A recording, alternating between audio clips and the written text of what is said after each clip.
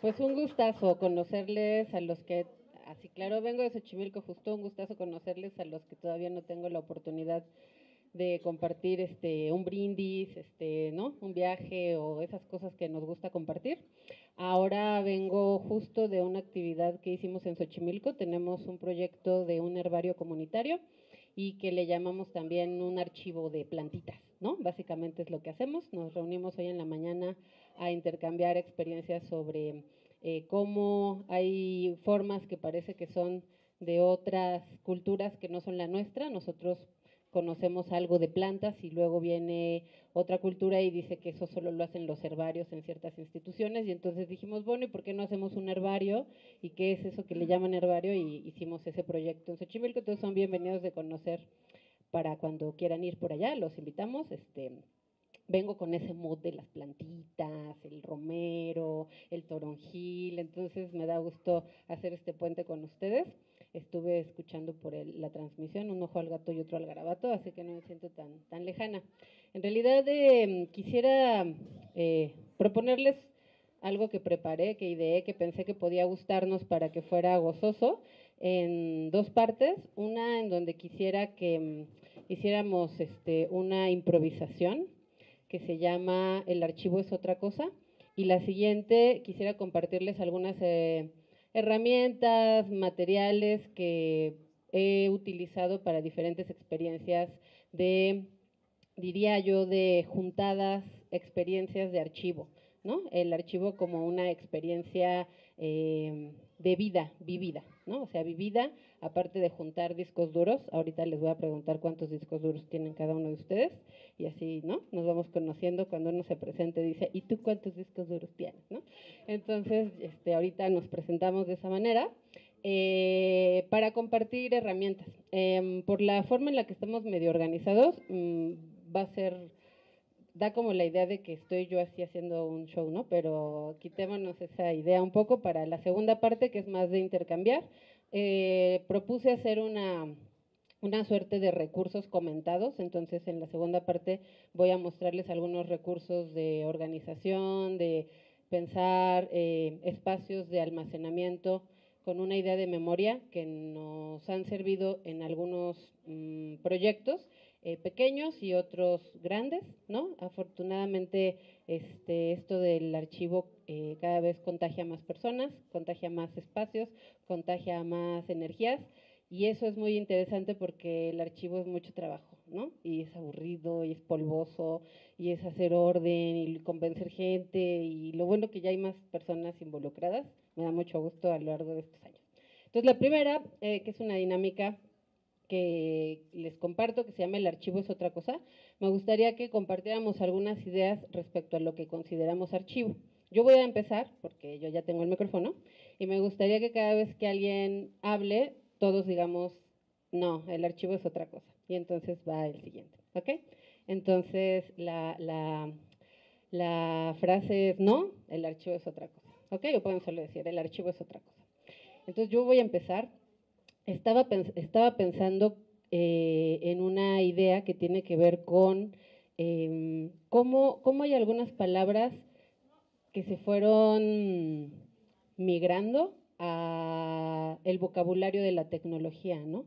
¿Cómo se dice memoria en el idioma que hablamos? Sé que aquí hay personas que hablan otros idiomas, yo solamente hablo el castellano, entonces si hablan otro idioma me gustaría saber cómo le llaman a eso que es recordar, que es memorizar, que es traer a cuenta, ¿cómo se le llama? Yo voy a hablar desde el que hablo, que es el, castellano, y pensaba cómo memoria se le dice también a, a estas cochitas, a los chunches estos, ¿no? Al, al USB, este que tengo conectado acá, que le dicen memoria, ¿no? O sea, como memoria es lo mismo que memoria.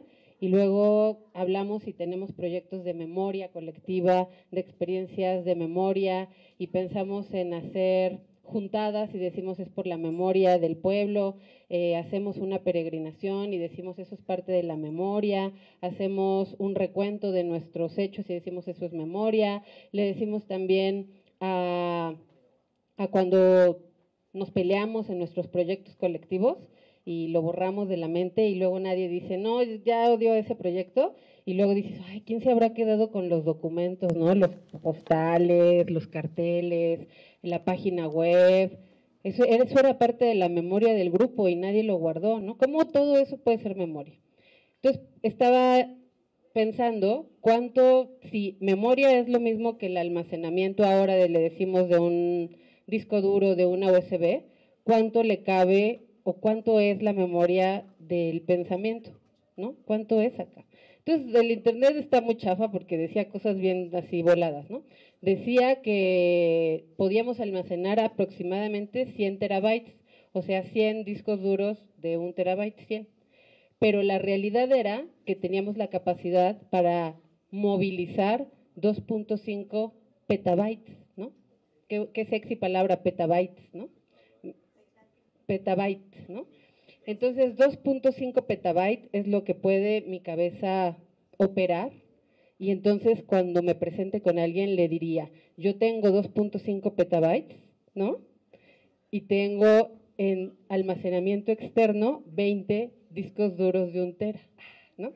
Entonces, eso me definiría tratando de hacerlo similar. Entonces, la memoria me parece como algo que requiere guardar y requiere que haga un relato y me hace sentido que esté en un lugar, pero que además yo pueda decir algo de eso. Para mí la memoria no es solo que lo pueda guardar, sino que tenga la capacidad de conectar con otros lo que les invito a querer conocer, que sea sexy, este cuento que les estoy contando. Ahora creo que podría ser que quieran conocer qué hay en mis 2.5 petabytes, ¿no? Y también qué puede haber en el disco colectivo de los archivos con los que trabajo. Creo que eso les compartiría, como un espacio de almacenamiento compuesto de relatos al que hay que hacerle además otro relato. Yo diría eso de la memoria.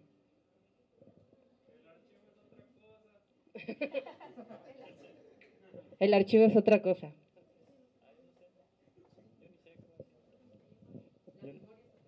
Ah, la memoria es otra. Eh, yo creo que... Ahí no sé. Eh, pues sí, me gusta esto, o sea que al final si no está todo conectado, o sea, sí es una cosa cualitativa, porque si tienes un montón de cositas, no es memoria, sino acumulación. Y me gustaba mucho, estaba leyendo como un concepto que le dicen conocimiento prostético a cualquier cosa que te ayuda a recordar y a conocer. Entonces, creo que la memoria es conocimiento prostético. Prostático, no, prostético. Eh, es decir, como es como los puentes que tiendes entre años atrás de tu vida con la historia de la humanidad, con es como pegotes que unen lo que sabes con lo que otra gente sabe para darle sentido hoy algo que necesitas resolver en un momento muy específico. Como que la memoria puede tener narrativa, pero si no tiene cauce o fin, eh, no sé, pues es ociosa, creo. Pues no sé. Pues.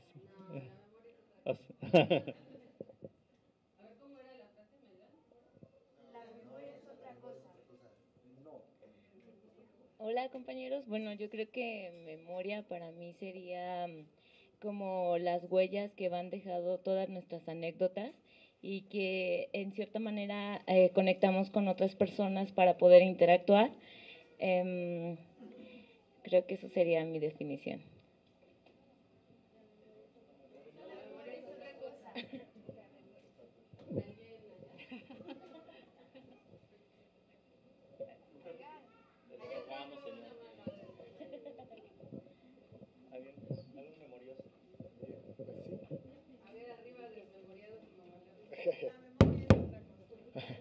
Pues lo que pasa es de que yo, yo empecé con el mismo, la memoria se entonces Conozco un montón de compas que tienen cuartos enteros llenos de volantes, periodiquitos y libros que no saben qué hacer con ellos. Y eso es parte de la memoria. Y ahora lo que veo es que con la memoria digital, eh, particularmente en los medios sociales, están, por ejemplo, las protestas, los manifiestos, las denuncias, los análisis, están mucho más proliferados que antes, hay muchísimo, pero al mismo tiempo siento que eso es como un, no, no digo exceso, pero es una cantidad enorme que, que hace tanto ruido que no te deja escuchar. Entonces ahí como que la memoria también queda, queda como atorada, como entonces este, o también está esta misma situación de que, como les pasó a los compañeros de Radio Zapote ayer, que nos platicaron, que tenían tanto acumulado en, una red social y de repente como que es curioso porque una, una protesta, digamos, queda muy bien documentada, pero está en esos medios sociales y esos medios sociales son tan efímeros, llegan mil noticias después, aparecen otras cosas, que en realidad aunque están ahí, están perdidos. Cuando se quiere recuperar y se quiere saber qué pasó en ese momento, en esa lucha, qué, se opinó, cuál era la discusión, todo eso está muy, muy alejado. Entonces, sí, la experiencia de cómo en colectivo construir nuestra memoria es un desafío muy grande y que tiene que ver pues también con la, como decías, ¿no? Es como, es como una narrativa que tenga sentido, no solo es guardar información. Entonces, este, pues eso no es la memoria, pero este, nomás quería compartir esa parte. Gracias. La memoria es otra cosa. Pues yo creo que, que, la memoria es todo, ¿no? Sea, nuestra sociedad, la humanidad, nosotras como individuos, como individuos, estamos hechos de memorias. A veces memorias que ni siquiera estamos conscientes de ellos. Entonces yo creo que memoria es su historia, estemos o no conscientes. Inclusive se habla, ¿no? De que nuestras células, nuestro DNA está lleno de memorias de cuántas generaciones y generaciones atrás de nosotras. Entonces es esa historia de la cual estamos conscientes o no, la que vamos construyendo, pero también la que han construido nuestras ancestras y nuestros ancestros.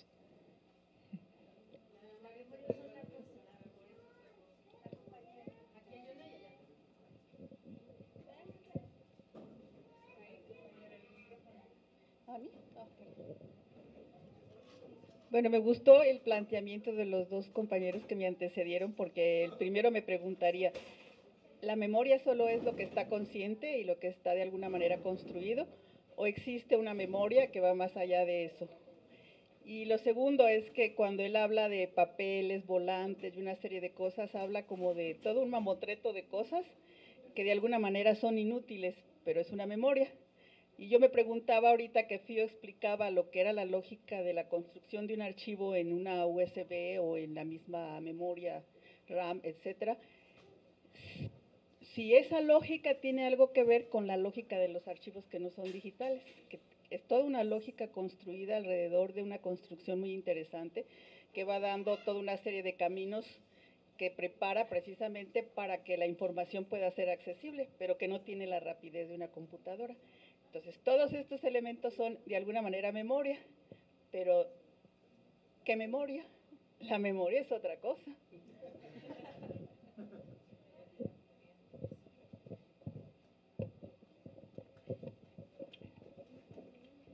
Hola, em, a mí me remite un poco a la palabra recuerdo y, y desde mi perspectiva como estudié filología clásica, me voy a la etimología, recordar.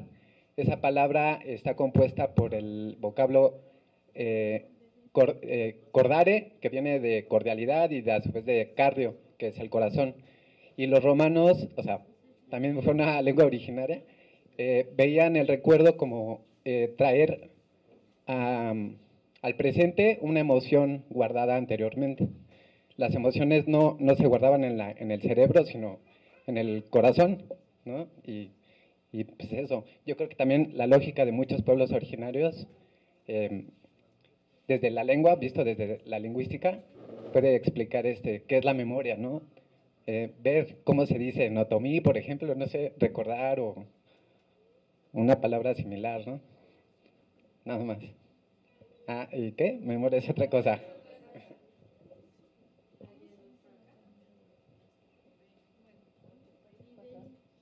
La memoria es otra cosa. Eh, yo... Ah, aquí está.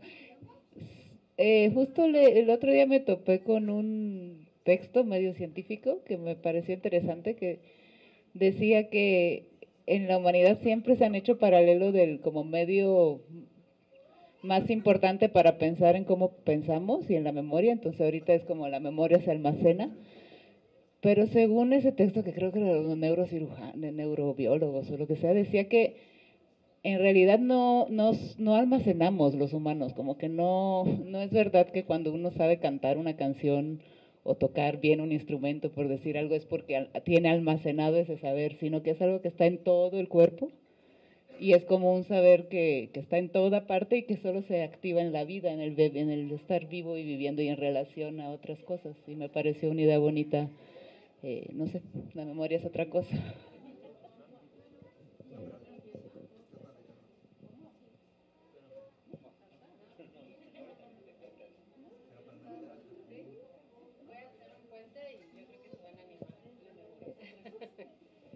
Eh, esta idea del almacenamiento eh, creo que tiene que ver con, esta construcción de pensar que hay algún lugar al que acudir, ¿no? Eh, de pronto estos espacios llamados archivos, como templos, como lugares, como este espacio deseable, hay una erótica también del deseo de esperar que exista un lugar al cual acudir para aquello de lo que falemos, ¿no? De lo que no tenemos creo que tiene que ver también con esperar eso, ¿no? Que, que, existiera ese lugar deseado, ¿no? Y ahora que escuchaba varios de ustedes, no sé cómo nombrarlo, pero me, me interesa como compartirles la frustración de lo que de lo que se siente al escuchar cuando no es una queja, es un, es un, siento que es una urgencia, ¿no? Conocemos a alguien que tiene un conjunto de materiales que nadie los está viendo, nadie los organiza, conocemos eh, páginas web que se crearon de los movimientos y están, pero no está claro. Y siento que, o sea, están ahí, pero no está claro quién los, quién los guarda, quién los mantiene, quién los resguarda. Hay una urgencia, aún, hay un, siento el, eh, creo que empatizo en esa como dolencia, ¿no? De nadie lo está haciendo, ¿por qué no, no está? Como que dan ganas de abrazarnos, ¿no? Así que, ay, nadie lo está haciendo. Pero quiero decirles que eh, tenemos sesiones de este, cada jueves los archivistas, por si quieren ir, donde lloramos juntos porque es muy triste esta situación. Entonces están bienvenidos a, este, a contar este, males de archivo.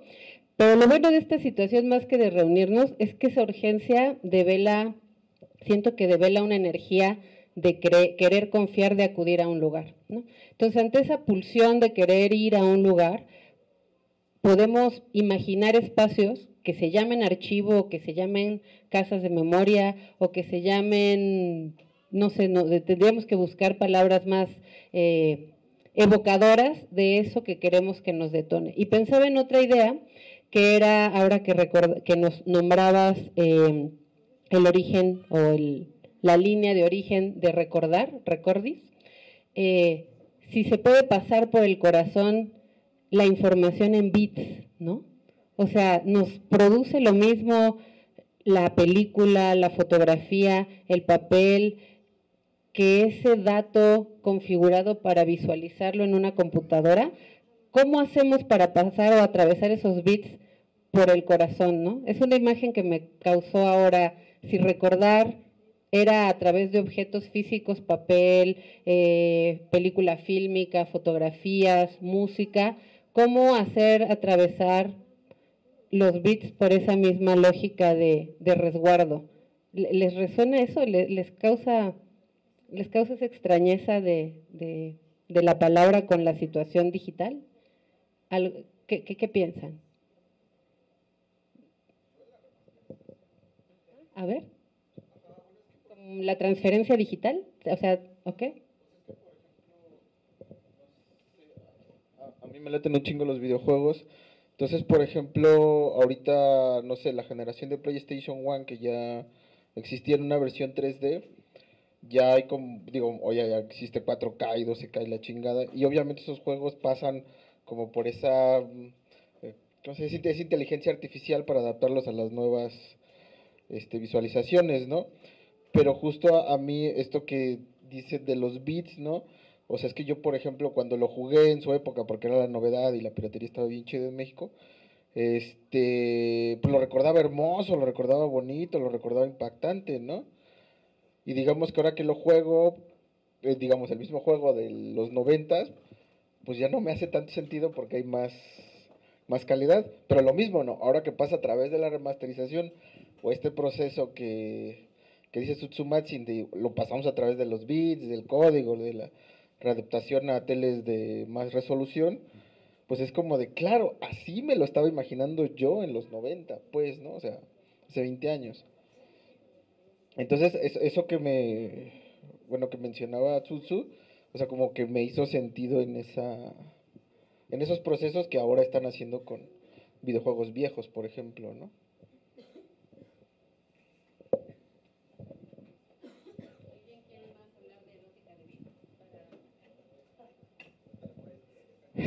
La memoria es otra cosa. Erótica de bits, erótica de bits. No, sé si erótica de bits, pero sobre lo que comentabas de los bits, de alguna forma siento que si yo abro una computadora y veo un video o escucho algo o leo algo, no necesariamente percibo esos bits, ¿no? Que, seguro son muy eróticos en el fondo, pero, no me pasa esa pregunta eh, que mencionabas, ¿no? Como que en, la percepción de recibir algo, creo que mi percepción de ver una película que hubiera sido grabada en material fílmico o en bits, perceptivamente no sé si varía tanto mi, mi, percepción sobre eso.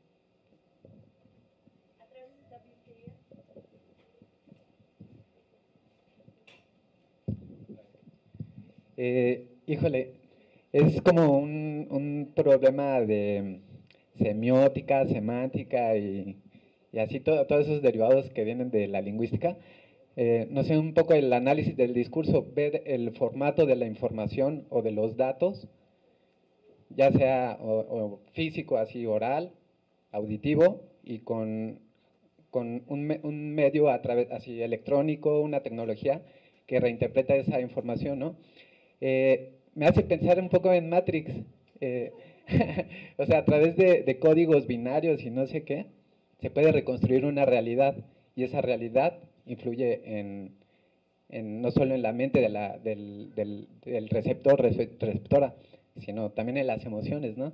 O sea, al final de cuentas estamos así como a un punto de, ese, de esa ficción de Matrix que, no sé, eh, finalmente, ¿quién dice que es la realidad, no? Y cómo la interpretamos y cómo la reproducimos, bajo qué lenguaje pues eso, como que me deja en wow. Bueno, voy a, voy a compartirles un poco eh, esta idea de, mm, claramente no, no hay un deseo por los bytes, ¿no? por los bits o por verlo atrás, pero sí que, mm, sí que en la búsqueda de que aquello que percibimos construido con información mediada por lenguaje de computadoras, hay un punto en el que hay una preocupación porque esos bytes sigan íntegros, preciosos y que sigan conteniendo aquello que nos produce la experiencia, ¿no? la interfase ¿no? que nos produce. Y en ese camino sí que hay un deseo de conocer un poco más aquella tecnología que fue creada con una promesa de memoria. ¿no? O sea, hay una promesa de que hay una tecnología que puede hacer aquello que no que, no es necesario nuestro cerebro, ¿no? que lo hace una máquina, una fotografía, un, el Maps, no sé si ustedes lo usan, ¿no? El Google Maps, entonces ya le ves y ya no tienes que acordarte por dónde ir, ¿no? O sea, también ahí hay una información. Entonces quisiera que lo fuéramos, además por el contexto, ¿no? Me voy a, me voy a brincar este tecnología. Me voy a brincar que no nos conozcamos, ¿eh? me, voy a mostrar, ya, ni modo. Eh, la tecnología como memoria y la memoria como tecnología, ¿no? O sea, en qué, y tecnologías diría, ¿no? Han nombrado películas, documentos, papel, decían por allá, ¿no? Eh, hay, hay, una historia de la tecnología relacionada a aquello que llamamos memoria. A mí me ha sido útil mm, separar entre la memoria y las tecnologías de la memoria, porque la memoria es otra cosa, pero también porque las tecnologías de la memoria son mucho una promesa, ¿no? o sea, una promesa de memoria. una promesa de memoria mediada por una producción que no hacemos nosotros. Yo no hago, yo confío en mi USB, pero yo no hago USBs, ¿no? Yo no hago discos duros, yo no hago la cinta magnética, yo no hago el DVD, el CD, el Lumatic, el Betacam, toda esa cantidad de formatos que han atravesado nuestra existencia de registro está creada por otros con una promesa de que ahí podemos depositar conocimiento, decían por aquí, experiencia. Entonces, voy a hacer este círculo con todo lo que acabo de nombrar. Un cúmulo de tecnologías que han sido prometidas como relacionadas a la memoria y en las que hemos depositado nuestra experiencia vívida. Y para volver a experimentar esto, hay varias opciones, se me ocurren dos. Que yo las tenga impregnadas en el cuerpo y pueda hacer relato de ello, o que yo tenga aquel lugar al cual acudir para traer a cuenta aquellos registros en los que deposité la creencia de una, de una promesa de memoria. En el campo en el que me desenvuelvo, tenemos un problemón porque creemos que estos materiales tienen que ser conservados, porque forman parte de nuestra cultura, de nuestro contarle a otros. Nos, nos gusta juntarnos, como ahora, esta experiencia la estoy disfrutando un poco raro porque estoy yo de este lado, pero la estoy disfrutando ahí más o menos. La vamos a vivir, la vamos a experimentar y por ahí habrá la duda si se está grabando esto con esta cosita, con la cámara, si habrá algo que me detone un registro de esta experiencia. Esta experiencia de alguna manera va a impactar, impregnar en mi, en mi recuerdo. La voy a traer a cuenta eventualmente dependiendo qué tan significativo sea los siguientes 40 minutos, ¿no? Si son significativos, los recordaré, si no, pues por ahí alguien me verá en la calle y me dirá, oye, ¿te acuerdas que nos vimos? En... Y así, no, ni me acuerdo porque no fue significativo. Pero por ahí generaremos otras, otros registros si nos es necesario seguir conectados de otra manera. Pero cuando eso lo hacemos en nuestras experiencias colectivas, comunitarias, en nuestros pueblos, en, nuestras, en nuestros barrios, en nuestras familias, les quiero contar, por ejemplo, que en mi familia, eh, mi mamá en Navidad lo que hace es que ella eh, baja todas las fotografías del Facebook, que sube la, todavía todos, Facebook, Instagram, cualquier red, y lo que ella hace una semana antes de Navidad es imprimir las fotografías y las conversaciones relevantes de esos medios. Entonces las manda a imprimir y nos hace álbumes a cada uno para que cada año vayamos teniendo ese recuerdo. Ella hace un proceso muy relevante y que ha estado ligado también a una cuestión de género, y es que en las familias las mujeres son las que han recopilado los registros visuales en forma de álbumes. Ella sigue una tradición ahora híbrida de recopilar de las redes de los demás. Nadie le dice, oye, esta es la más importante. Ella decide, a veces es tu foto más fea donde te etiquetaron, a veces es así un meme donde te pusieron tu nombre. O sea, uno hay que tener cuidado en esa familia porque tu memoria queda toda de collage, ¿no? Pero ella hace ese acto que nos faltó, creo, mientras íbamos nombrando, y es que la memoria somos personas. O sea, somos personas queriendo estar con otras personas, colectivizando, hablando, continuando, nutriéndonos, como que necesitamos una gasolina de relato, pero somos personas las que seleccionamos, guardamos, borramos. Eh, hace rato estaba escuchando, estaba viendo esta tablita de borrar de los softwares, me encantó, ¿no? Este, y luego siempre cuando, cuando comparto una cosa así, digo, bueno, pero ¿quién lo tiene que hacer, no? Lo tengo que hacer yo siempre, lo hacemos en colectivo. No sé ustedes, por ejemplo, cómo lo hacen, pero una idea que tenemos también con, uno, con los amigos del colectivo. Tenemos eh, espacios de almacenamiento colectivo, pero además lo privado de cada quien nos hacemos copias, ¿no? Ahora sí que la copia con quien más confianza le tengas, ojalá todo siga igual, ¿no? Porque si no, qué oso, pero nos copiamos cada cierto tiempo, hacemos copias de seguridad para colectivizar la responsabilidad. Entonces, hay una tecnología que apela a nuestra memoria, y que va a requerir ciertos conocimientos de formatos. ¿Qué más se les ocurre que va a requerir que conozcamos? ¿Medios, dijeron? Eh, ¿Sería distinto a formatos?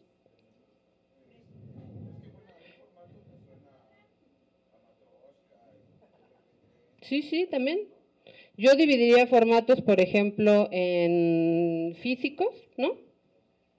Y formatos que tienen que ver con codec y contenedor y bueno, todo lo que aquí ya sé que saben. Bueno, ¿no? Codex.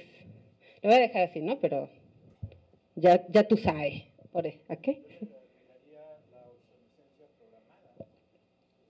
Claro.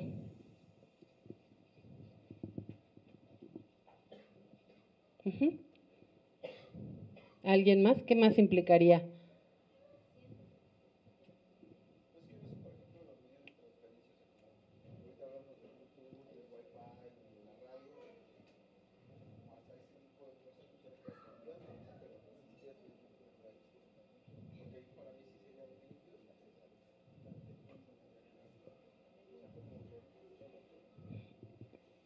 Yo lo pensé, de repente me hizo recordar cuál había sido como la, búsqueda de la invención de la fotografía. Como que llevaban mucho tiempo, así siglos, pensando en la posibilidad de que una imagen se registrara en un soporte y lo vinieron haciendo desde los griegos, ¿no? O era algo que las sombras y luego encontraron otro material y se hacía, pero la cuestión así fundamental fue descubrir cómo hacer que permaneciera podían hacer que se registrara unos segundos y se diluía, y fue hasta el siglo XIX, hace 200 años apenas, poco, menos de 200 años, en el que se entendió cómo hacer que esa imagen permaneciera. Entonces, ahora lo que, lo que nos compartes es si dentro de nuestras prácticas de comunicación, en la radio, el internet, televisión comunitaria, hay un impulso de generar registro o es la experiencia de, hacerlo? ¿Cómo, cómo, cómo ves? ¿Cómo, ¿Cómo opera ahí? No necesariamente, ¿no? No necesariamente comunicar genera registro y a veces... ¿Te hace sentido por ahí? Aquí, aquí hay una y allá hay otras dos. Eh, ¿Les paso este? Acá hay una y luego... Gracias. Pues una vez, hace un tiempo, fui con un maestro a, ver la puesta del sol o como, no sé, la entrada del sol, lo que sea. Y fue muy bonito porque él me dijo que los cerros son como computadoras que, que no sabemos usar, ¿no? Pero que tienen información y que por muchos años sí hubo una, una transferencia de, de, de cómo usarlos, ¿no?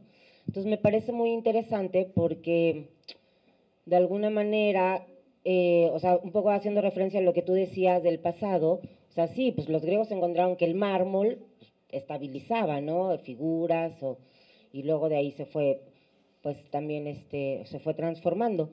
Pero cómo incluso, pues, este, o sea, que exista la tecnología no necesariamente quiere decir que, que pueda ser útil, o al revés, ¿no? También que hay, hay, hay, hay muchos sistemas, digamos, que pues por alguna razón dejamos de saber cómo se usaban, ¿no? En caso de las pirámides o estas cosas, y nos perdimos de esa información, o sea, está, el, físicamente existen, pero ya la transmisión se, se, se quebró, ¿no? Entonces me parece interesante como no solamente pensar en los tiempos actuales, digitales, ¿no? O sea, por ejemplo, yo tengo en Radio Zapotes tenemos un montón de VHS y DVDs que están ahí, pero pues ya no, ya no son lo que eran, ¿no? O sea, tienen la información, pero ya no se pueden leer, ¿no? Entonces, este, pues sí, como, como, como pensar, digamos, que, que la memoria se va también eh, cambiando, ¿no? O sea, las formas de, de contener las memorias, incluso colectivas, pues van cambiando.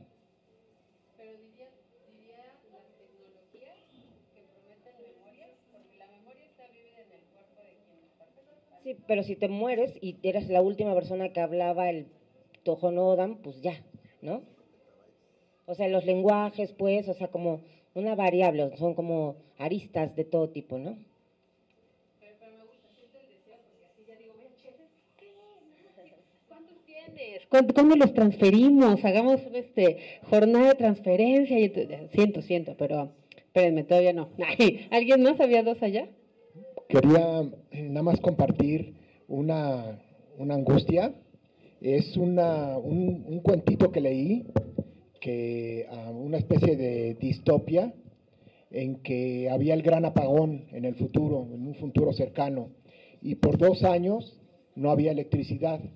Y cuando regresaba la electricidad, sorpresa, todos los archivos digitales se habían borrado de todas las computadoras. Todas las memorias que habían sido registradas de manera digital, fotos, escritos, códigos, adiós. Entonces, eh, ¿qué le pasaba a la memoria? En ese sentido, ¿qué quería decir la memoria? ¿no?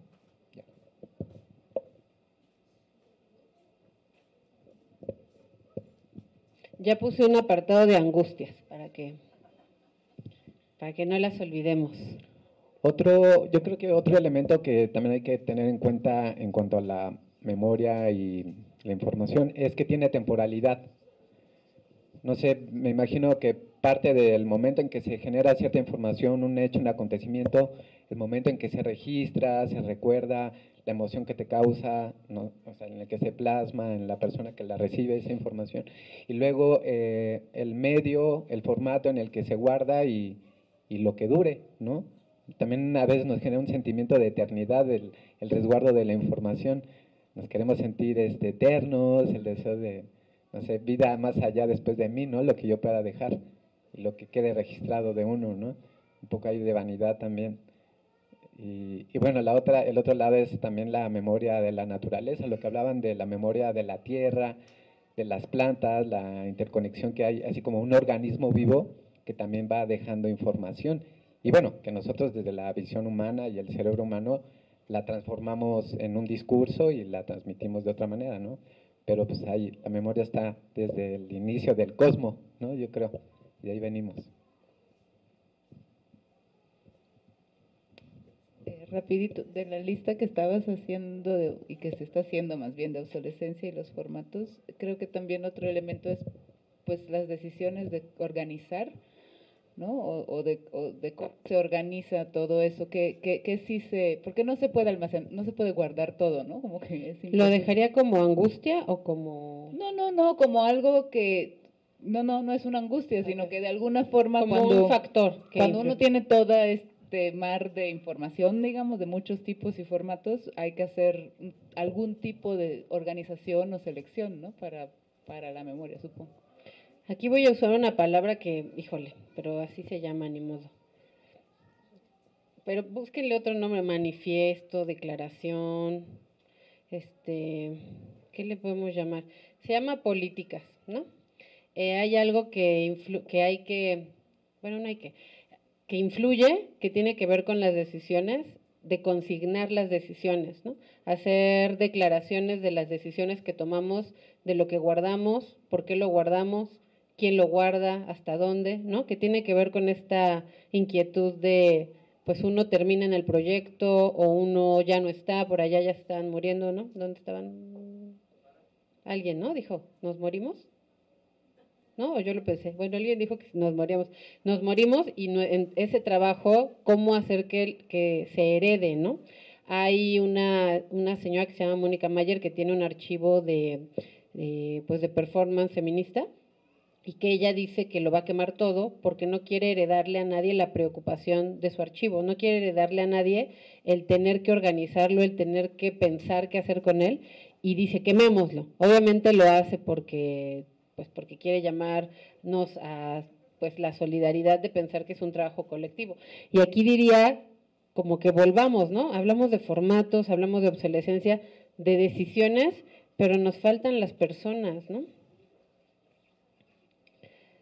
¿No? Como que siempre que veamos memoria hay que poner personas, ¿no? Personas, personas, personas personas que prendan el servidor, personas que estén al pendiente del servidor, personas que organicen, personas que decidan, personas que convenzan a otras, personas que pongan su cuerpo para estar en un espacio como este, personas que analicen, personas que cuenten, personas que se sorprendan, personas que, que intuyan, personas que discutan, personas que no están de acuerdo.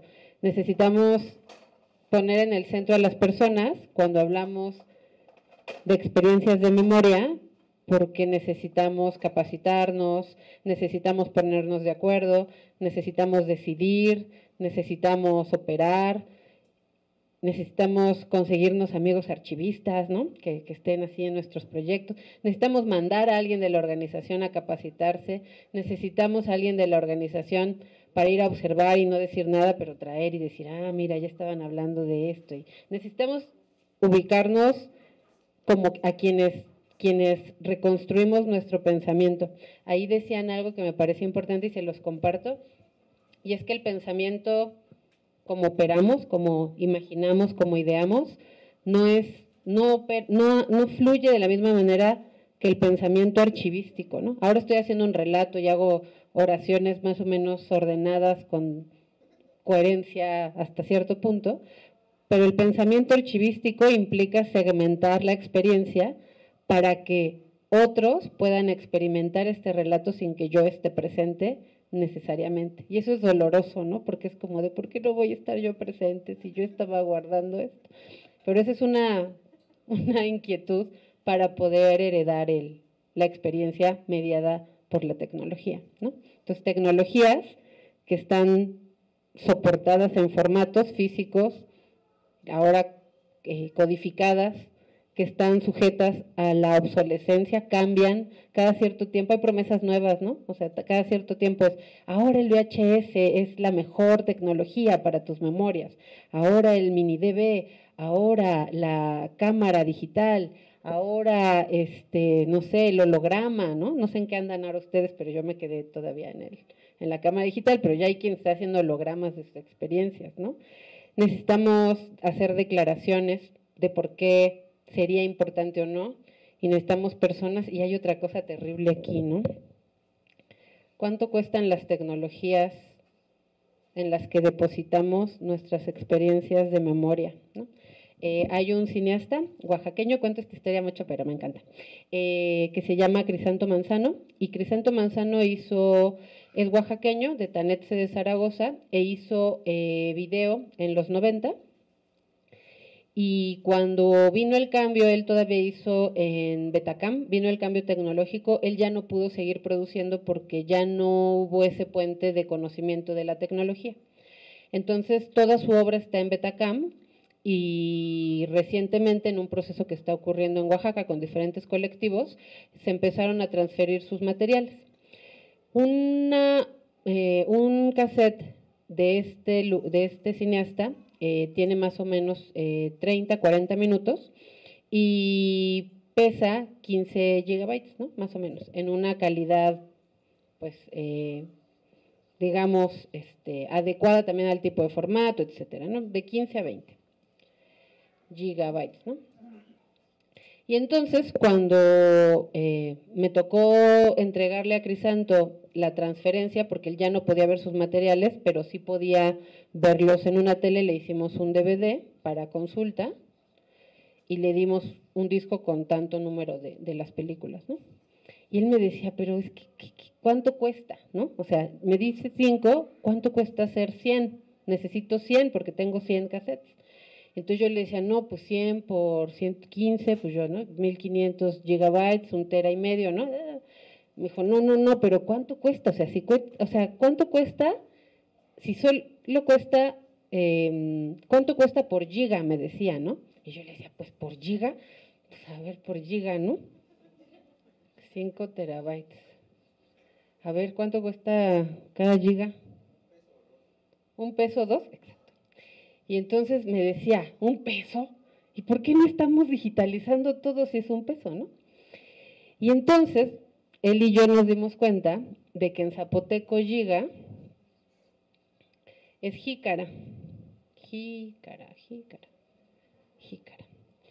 Y entonces, eh, una jícara de café, porque él es además este, campesino, siembra café, una jícara de café eh, costaba 30 pesos. Entonces, 30 pesos alcanza para dos películas, ¿no? Porque eran 15 gigabytes. Entonces él me decía, entonces dos jícaras de café por dos películas es irrisorio. ¿no? Y me dice, ah, ya entendí, es que así como el café no me pueden pagar lo que realmente cuesta, yo realmente no puedo pagar lo que realmente cuesta hacer la transferencia, porque pagar 15 pesos por película, si está a peso el giga, no es todo el trabajo que requiere de transferirlo, visualizarlo, guardarlo, conectarlo. ¿no? Entonces, me, me interesa de esta historia compartirles que este cálculo de dinero, cuando calculamos en términos de idear que la memoria vaya más de la experiencia de hacer, de crear registros, tiene que ver con cuánto tiempo imaginamos que vamos a guardar esto. ¿no? Y una pregunta que me gusta hacer es, ¿cómo hacer que la memoria dure al menos 100 años? ¿no? ¿Cuánto cuesta al menos 100 años guardar esto? Y esto me, me, me, emociona porque es poco, muy poco común que cuando pensamos en términos de transformar esta limitación de dinero, de conocimiento, de procesos, de obsolescencia en, en, contra de las tecnologías que fueron creadas como promesa de memoria, es difícil pensar a mediano plazo, ¿no? O sea, es 5 años, 10 años, 15 años, 20 años, 50 años. Es un ejercicio de cada quien tendrá que pensar en sus experiencias, ¿no? Eh, hasta el momento, la tecnología de soporte más que la ha comprobado es la fílmica, ¿no? El soporte fílmico, el rollito de fílmico, ahí está bonito el fílmico, eh, en unas condiciones de almacenamiento casi congelados puede durar mil años, pero quiero ver quién va a tener conectada la luz mil años. ¿En qué condiciones? Otra vez las personas. Entonces, como eso ya no me agobia, la verdad, no voy a vivir mil años y luego los siguientes, lo que sí les podría decir es cómo equilibrar entre las tecnologías y la forma en la que vamos heredando la preocupación porque esas memorias que depositamos en esos soportes se hereden. ¿Cómo hacemos que convencemos a otros para que más allá de una vida humana puedan tener prendido el servidor, puedan estar preparados por si se va la luz para siempre, pueden hacer un pueden hacer herramientas para despedir en un ritual toda la tecnología digital porque ya no funcionó, ¿no? ¿Qué tal que eso es lo que tenemos que hacer, ¿no? Ya no hay luz, ya no podemos ver computadoras. ¿Quién se va a encargar del ritual de esos cajoncitos llamados discos duros, ¿no? También vamos a necesitar esa pérdida, ¿no? Los floppies, ¿no? No sé si alguien hizo alguna ofrenda para los floppies, pero pues es algo que nos ayudaría, ¿no? Así de, ay, los floppies, ¿no? ok, quiero entonces ahora eh, compartirles unas, unas ideas que traje en, una presentación, pero no sé si alguien quiera eh, añadir algo a las angustias y a las consideraciones relacionadas a tecnologías de la memoria. Súper.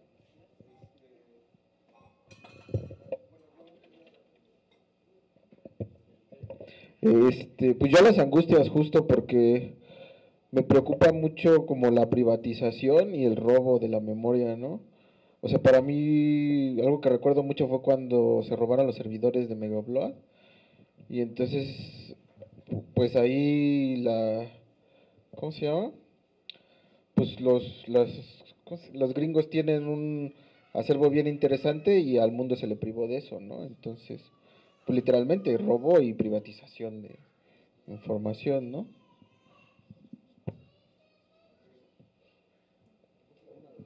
Aquí adelante. La comercialización.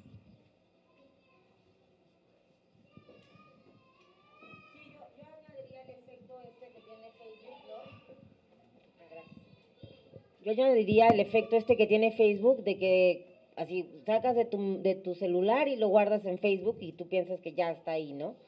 Y, y bueno, ahora, digo, Radio Zapote nos acaban de tirar la página y es una cantidad de información y de fotografías y de videos que, bueno, pues estarán en otras partes o no, pero no solamente, digamos, nos pasa como Radio Zapote, sino también eh, he sabido de muchas personas, ¿no? Que les hackean su cuenta o lo que sea y la pierden y pues pierden toda su, su, su, su, su información que además como dice Arthur, pues está mediada, o sea, uno piensa, ah, Instagram, pero pues está mediada por la comercialización de esos datos y toda la información que estamos dando de nosotros mismos, digamos, para pensando, digamos, en, en, compartirlo con nuestra gente, pero que en realidad es una memoria obscura, ¿no? Que está ahí para, pues, para otros fines, ¿no? Y aquí creo que hay algo valiosísimo y aquí sí valdría un, el archivo es otra cosa, la memoria es otra cosa.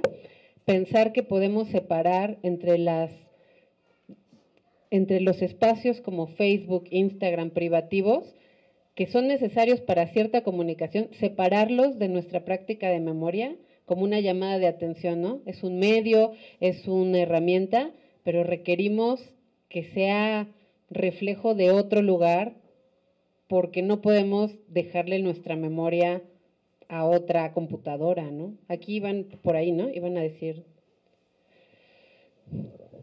Pues yo no sé si angustia, pero como la incap o sea, dentro de esa amplia gama de mecanismos, formatos, soportes, que hay cosas como los olores o ciertas sensaciones, o sea, como hay cierta, como que la memoria está muy hacia, la, hacia el audiovisual, creo, ¿no? Y hay como un chingo de experiencias que la humanidad no ha podido fijar. Quizá no está mal que no puedas como capturar como el dolor como una esencia o algo así, ¿no? Porque pues no está bonito que alguien padezca dolor por, porque sí, pero ciertamente que hay mucha experiencia humana que nunca, pero de los nunca, si todo sale bien, va a ser capaz de, de como envasarse, ¿no? Puedes narrar el dolor o escribir sobre el dolor, pero quizá hay cosas que pues nunca van a estar ahí y está bien, o no sé. Y esa idea me encanta para no pensar que quienes nos dedicamos a los archivos, quienes estamos pensando en la memoria de nuestras propias experiencias, estamos casados con la idea de que el archivo lo es todo. Parecemos muy apasionados. Les digo que nos juntamos los jueves a, acá, hacemos este, terapia, pero no estamos casados con pensar que todo se tiene que registrar. ¿no?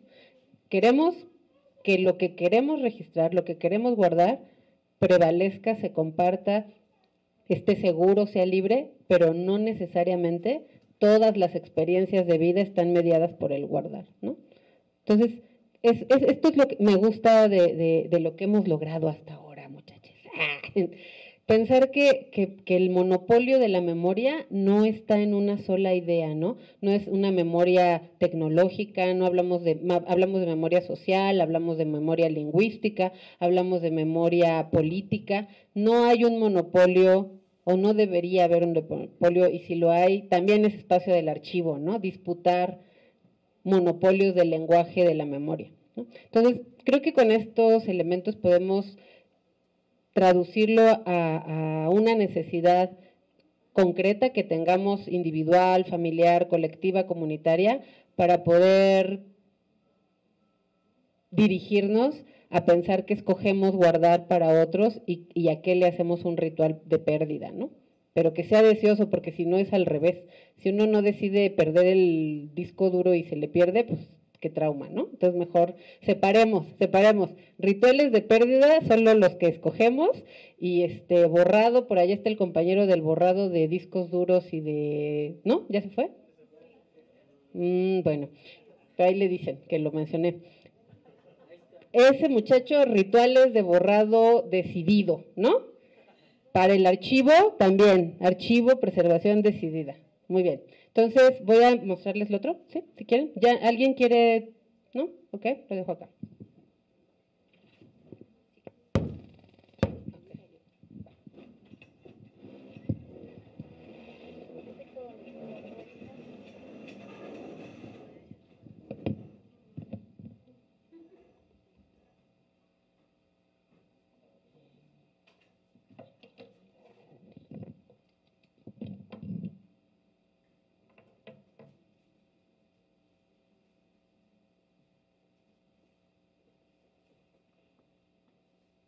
Hacemos una pausa de siete minutos, ¿no?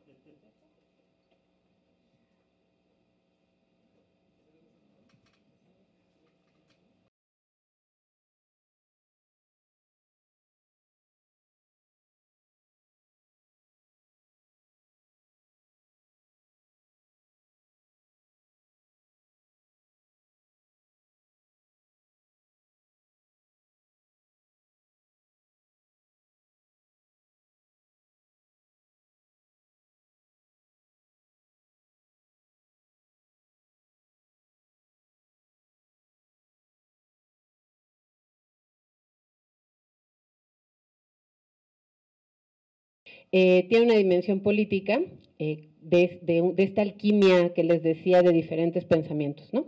Y es el sentimiento seguro del cual todos seríamos herederos de un tiempo sobre el cual podríamos ejercer los derechos de propiedad colectiva. Ese es el imaginario que el archivo busca difundir. Y una propiedad colectiva no privativa, no limitativa, como parte de una humanidad de conocimiento, sin perder de vista que lo que se guarda, quien guarda, quien accede a eso, es también está dispuesto a una disputa política de lo que se dice de esos espacios. ¿no? Eh, hay una estrategia que no sé si en sus culturas, comunidades se usa, pero se llama la preguntada, ¿no? Y en mi pueblo la preguntada es una fiesta que se hace antes de hacer la fiesta, antes de empezar a organizar la fiesta y luego ya se hace la fiesta. Pero la preguntada es una es una actividad en la que te reúnes para preguntarle al otro si se acuerda que quedó contigo que iba a hacer algo, ¿no? O sea, como que apenas vas a recordarle que iba a hacer algo contigo y se le llama la pregunta. Hace rato llamaba, llamábamos que había que establecer una línea de políticas, lineamientos, declaraciones de qué se iba a guardar, cómo se iba a guardar, quién estaba encargado, a quién le íbamos a dar pamba si no guardaba los archivos, qué decisiones se iban a tomar. En esa preguntada yo así le, le, llamaría, pero ustedes le llaman en sus contextos, ¿no? Hay que juntarse a recordarse qué decidimos, ¿no? ¿Qué decidimos? Y le podemos llamar políticas, normas, ¿no? Hay reglas, le llamamos hacia los archivos, este, borramos todo después de una semana, registramos, hacemos lineamientos. Busquen nombres sexys para esto porque les digo que vengo de un mundo con un vocabulario como que le falta onda, ¿no? Pero ruta de viaje, ese sí yo lo inventé, ¿no? Hagan rutas de viaje en esa preguntada de cuál es nuestra ruta de viaje de la memoria. Vamos a empezar a colectar a partir de ahora, vamos a ir hacia atrás, ¿Cuál va a ser nuestra ruta de navegación?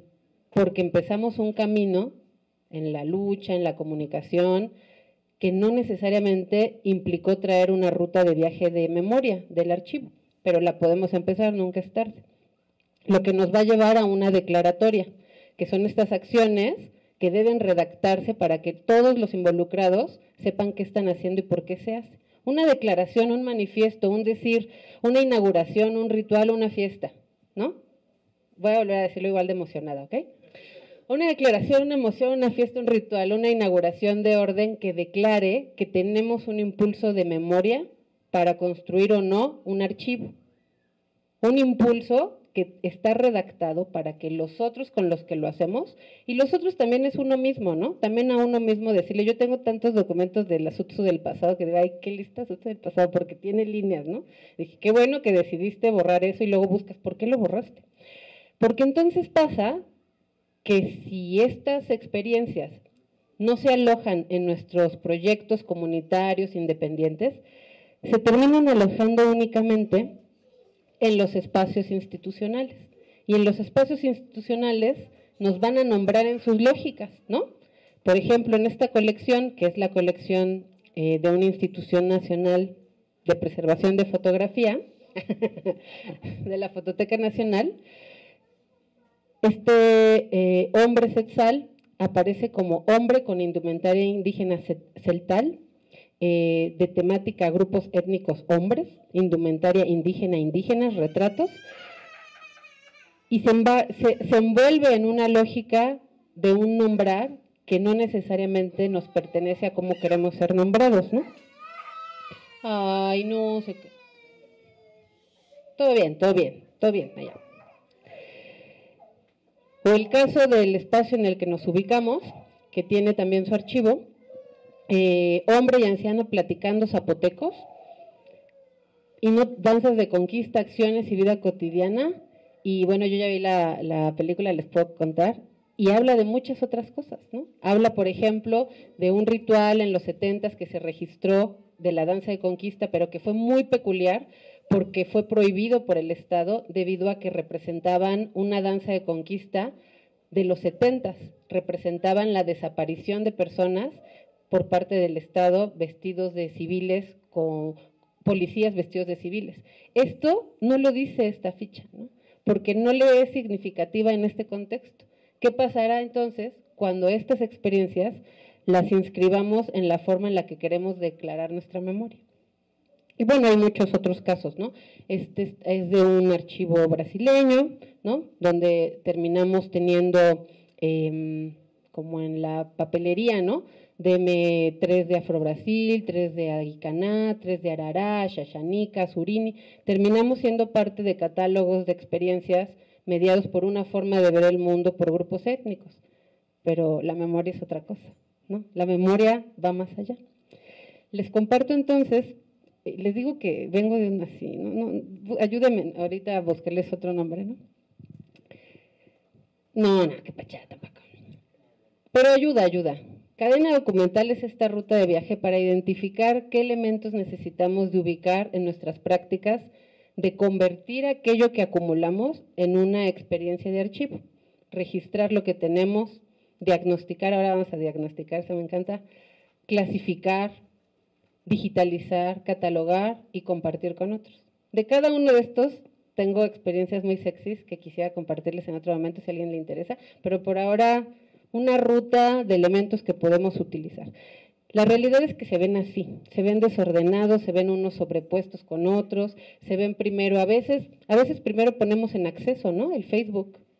Y luego ya pensamos en diagnosticar, ah, no, el Facebook tal vez no es el, el, elemento, ¿no? A veces primero digitalizamos porque hay una urgencia de los VHS y después entonces los clasificamos. La realidad es que esta forma de pensamiento archivístico implica una flexibilidad de entender que hay un proceso, pero que la urgencia nos lleva a atacar una u otra actividad. También nos implica traducir, transpensar, ponernos en situación con otras formas de pensamiento y no dar por sentado que todos entendemos la memoria de la misma manera. Este es un proceso que, que me, pues me transformó mi práctica, mi, forma de ver el mundo eh, con colegas en Oaxaca de Tebetamix, Tanetse, eh, eh, Triquis, también Mazatecos y bueno, yo que soy Xochimilca, donde tradujimos a otro mundo lo que, o a otros mundos, a otras cosmovisiones que no están atravesadas por necesariamente por una forma académica del archivo. Lo que terminamos hablando era, hablamos archivo, hablamos archivo en Triqui, hablamos archivo en, en Mazateco, hablamos en archivo en otras formas que no necesariamente tengan que traducirse. Les decía, yo desafortunadamente pues solo hablo, no hablo todos estos eh, posibilidades de mundo, porque detrás de esto de acumular, contar, limpiar, eh, contarle a otros, hay una experiencia que puede convertirse en una lógica que le pueda facilitar a otros que no somos los que hacemos nuestros registros, cómo conocernos o también cómo cuidarnos, cómo, cómo proteger el, el, material que tenemos en una contradicción que he compartido con algunos de ustedes y es cómo, cómo dejar rastro para registrar, para consultar, para memoria y al mismo tiempo protegerlo para que no se privatice, no se comercialice. Eh, y los retos están aquí. Tenemos muchos materiales, tenemos que hacer formas de consulta, hay varias personas que participan en el proceso y no necesariamente somos archivistas, ¿no? Yo, este, yo empecé queriendo hacer documental y luego ya, pues ni modo, me dedico a esto. No es cierto. o sea, sí es cierto, pero no es cierto que estoy triste. Eh, y quisiera solo compartirles que hay hay varios avances en relación a cómo hacer estas declaraciones de hacer archivos desde nuestro relato.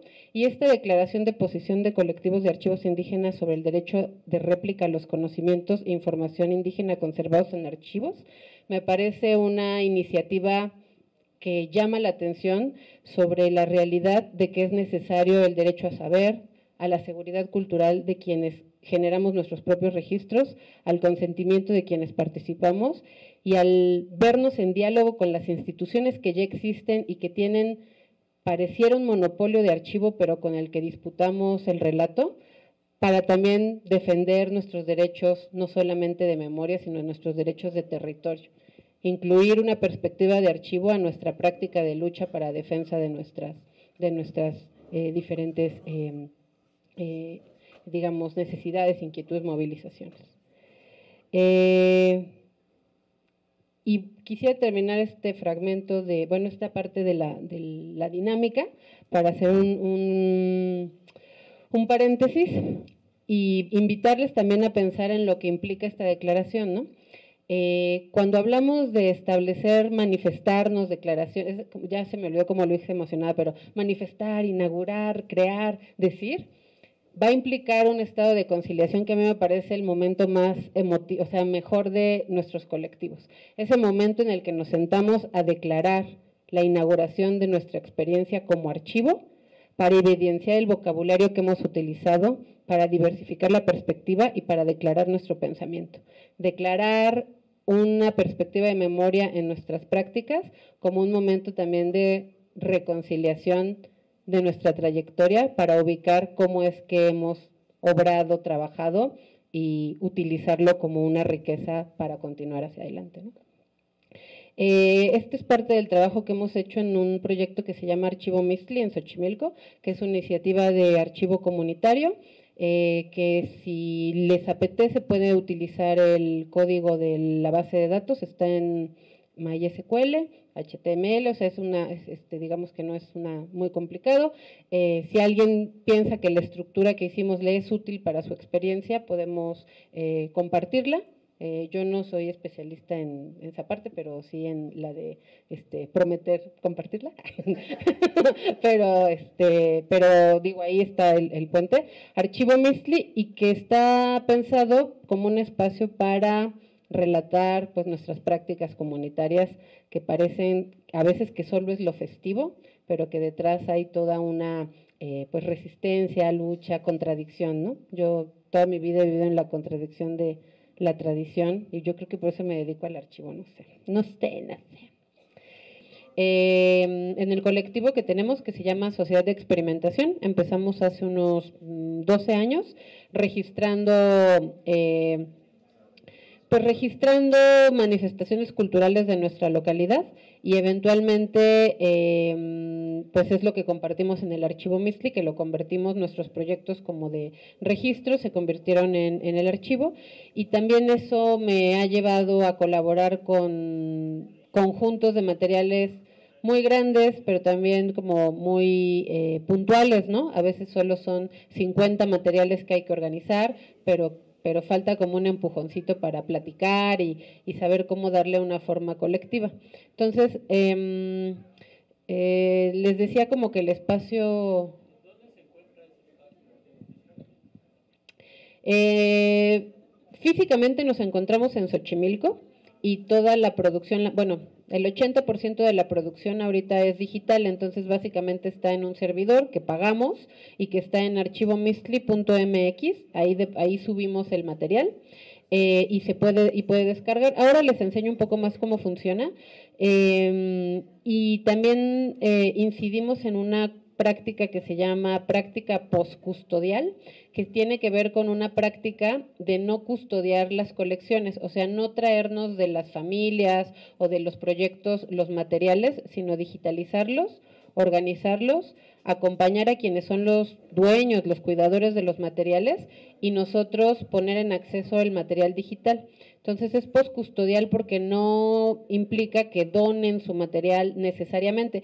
Sí nos han donado material y lo resguardamos en un espacio que ahora tenemos en el barrio de Belén en Xochimilco, pero no es la lógica principal.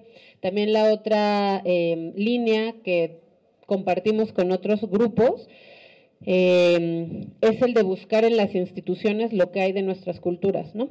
Entonces nos dedicamos a investigar en archivos públicos eh, documentos, eh, papel, muchos tienen que ver con territorio. Por ejemplo, ahorita estamos eh, pues acercándonos, no, no es nuestro fuerte, pero a una cuestión de documentar la lucha del agua en la cuenca. Entonces es como lo que ahora, digamos, tenemos un poco más interés y es básicamente también capacitarnos para investigar en los archivos públicos, ¿no? porque no es natural, es, es, es algo que hay que generar, sí. Ajá. También importante, pero ¿qué pasa con esos materiales que pues tenemos en nuestras casas y que obviamente no tienen las condiciones este, para eh, mantenerse en buen estado? O sea, no sé si ustedes dan alguna recomendación o se los llevan y pues a lo mejor les cae el mo y pues ya se fue. No, nosotros tal cual no, no, no, digamos, no somos una como empresa o, o, de ese tipo, sino lo que hacemos es, digamos, experiencias de encontrarnos, ¿no? Entonces es mucho platicar ¿no? Como de, oye, yo tengo una foto y empieza la gente diciéndonos, tenemos este material, a veces es un video, a veces es una USB, ¿no? A veces es el teléfono, ¿no? Entonces algo que hacemos cuando activamos el archivo es, también hemos hecho talleres de mm, preserva tu memoria en el celular. Entonces nos juntamos en una mesa en un barrio y, les ayudamos a sacar sus imágenes, a hacer el proceso de seleccionar qué borrar y a entender de qué se trata, que se almacene en, la, en el celular y luego se almacene en otro espacio de almacenamiento que puede ser un disco duro. Y si nos dan permiso, les hacemos una copia de respaldo en un disco comunitario o en el servidor que pagamos. No todos los procesos llevan al mismo lugar. A veces ha sido muy frustrante para nosotros porque con la ingenuidad del mundo pues decíamos, no, todos van a querer sus imágenes en un disco duro, ¿no? Y juntamos dinero para el disco y, era como de, no, no, a mí este, bájamelas en un así DVD para que yo las pueda ver en la tele, ¿no? O sea, también creo que es mucho de entender cómo han cambiado nuestras prácticas de memoria alrededor de una tecnología. Como archivo MISCLI o como una iniciativa de archivo nos interesa no que no sea o si no, si no es todo, entonces nada, sino que eso conviva con la posibilidad de que exista este proyecto de resguardo, de acompañamiento, y también de una crítica de que no hay espacios públicos que piensen en las memorias comunitarias. Entonces, no nos esperamos a que ocurra, pero también somos conscientes de que tiene que haber un espacio físico, ¿no? O sea, un espacio donde acudir a capacitarte, un espacio, pues un poco o muy mucho como un laboratorio, ¿no? De software libres, es un lugar a donde tú puedas ir y saber cómo se digitaliza una foto o cómo se pasa de tu teléfono a una computadora. Creo que los archivos para la forma en la que lo he vivido tiene que ver más como un espacio cultural que como un lugar que le decían ahí de almacenamiento. Es de conservación, tenemos una práctica de preservación, de hecho en la página pueden ustedes, es que aquí está un poquito lejos la, la no van a alcanzar a leer, pero se los pongo nada más para que medio tengan la intuición de lo que les estoy hablando. Eh, hicimos una declaración que se llama, ¿qué es la preservación digital comunitaria? Que es como lo que pensamos compartir como de, eh, de incentivar a la comunidad o a las comunidades a pensar en nuestro territorio y es, em, se le llama preservación digital a las actividades que garanticen que nuestra información digital, por ejemplo, fotografías, videos y documentos, puedan permanecer y seguirse usando en el futuro. ¿no? no es muy distinto de otro lenguaje, pero en el que nos interesa es de preservación.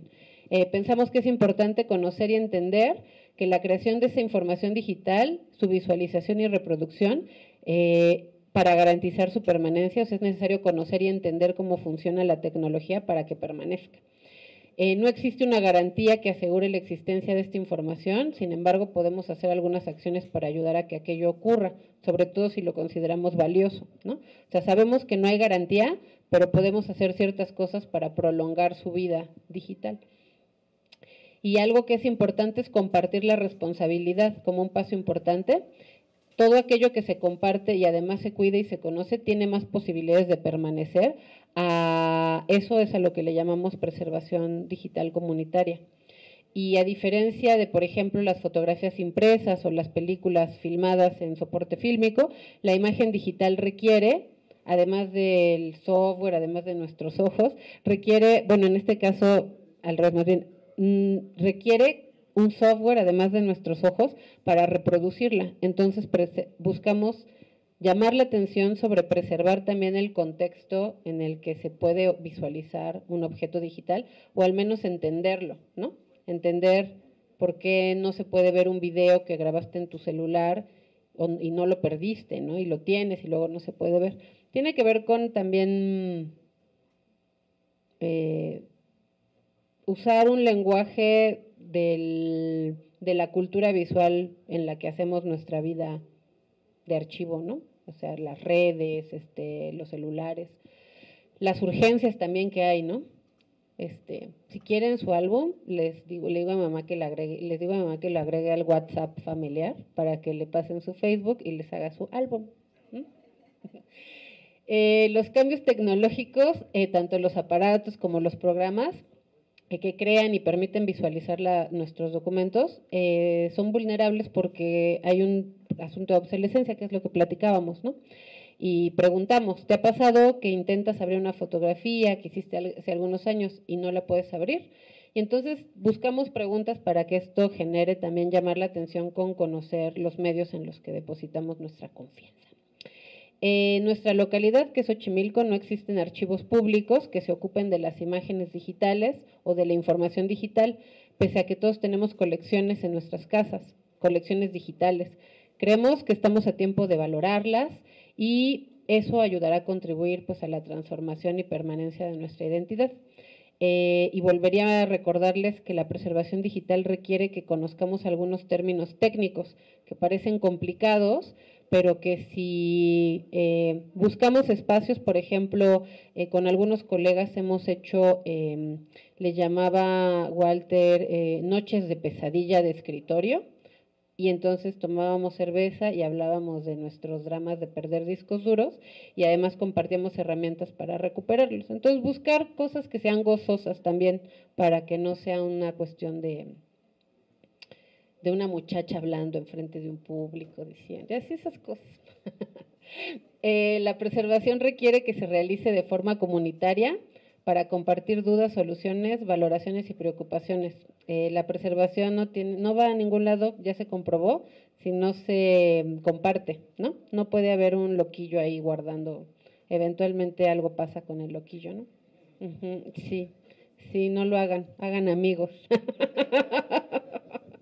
bueno, eh, quisiera ocupar esta última media hora en compartirles unas herramientas. Eh, esto es algo que me apasiona encontrarme. Si quieren, podemos intercambiar teléfonos o, buscar otra forma de hacer eh, de las dudas. Me interesa mucho conocer sus preocupaciones, inquietudes, dudas, quejas, angustias. Les pusimos angustias movilizadoras, eh, porque requiere que más personas eh, se trabajen, no es trabajo. Finalmente es este, dedicarle tiempo, vida a darse cuenta que aquello que registramos, que guardamos, puede ser valioso para nuestra propia lucha o nuestra propia movilización.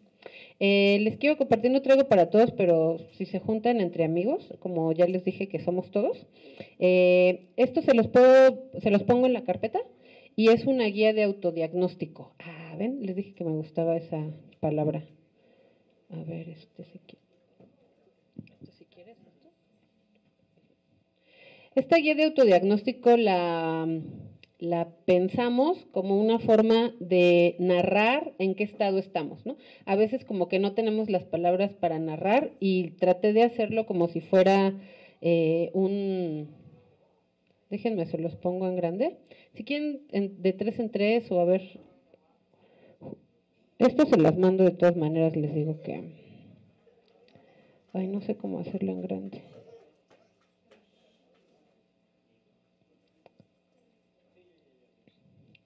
a ver.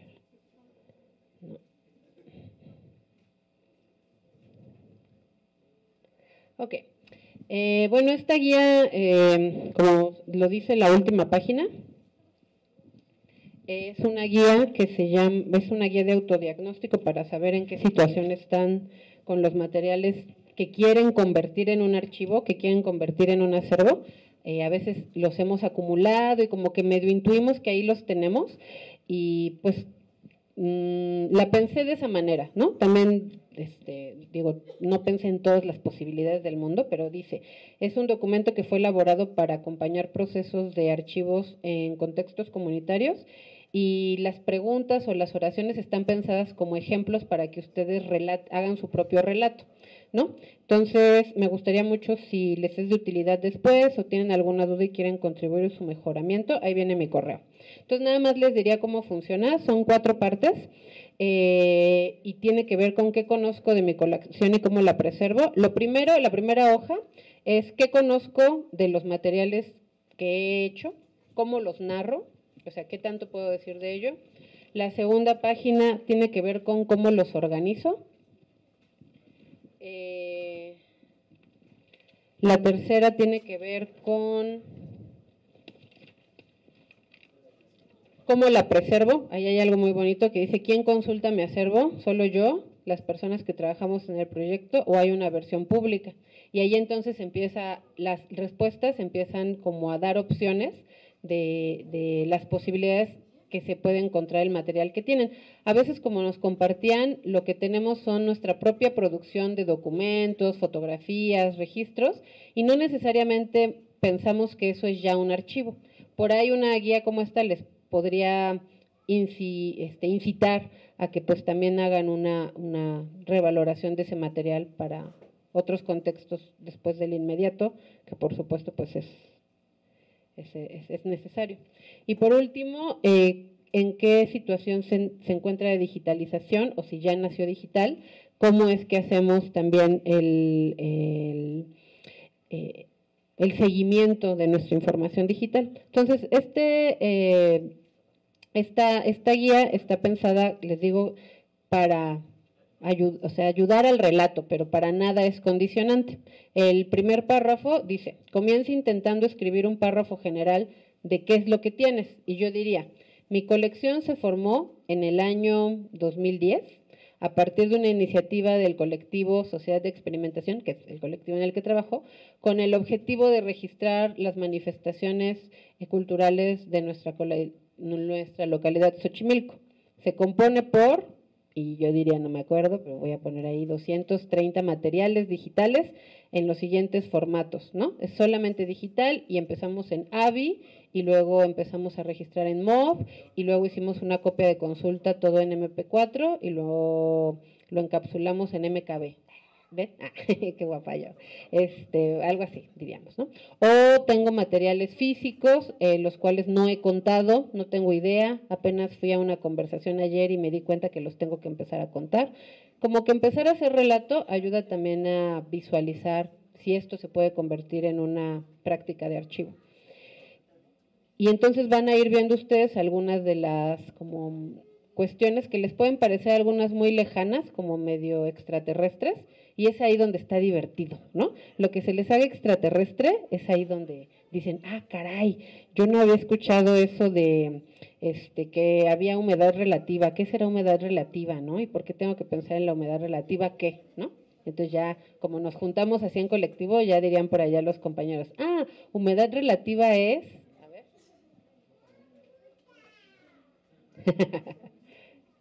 A ver, ¿alguien le suena humedad relativa? ¿Alguien, alguien no?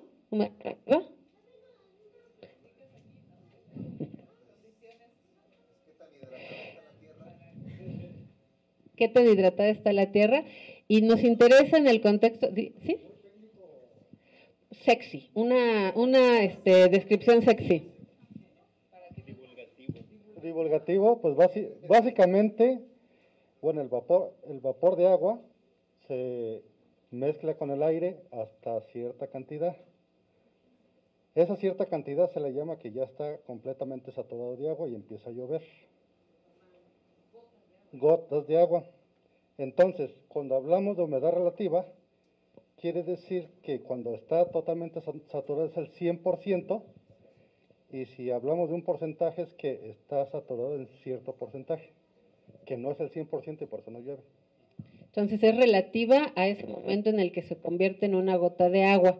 Entonces, para quienes vivimos en contextos húmedos o que pareciera que no son muy húmedos, es importante conocer esa condición porque los materiales en los que se ha registrado aquello que hacemos es susceptible de esa humedad relativa.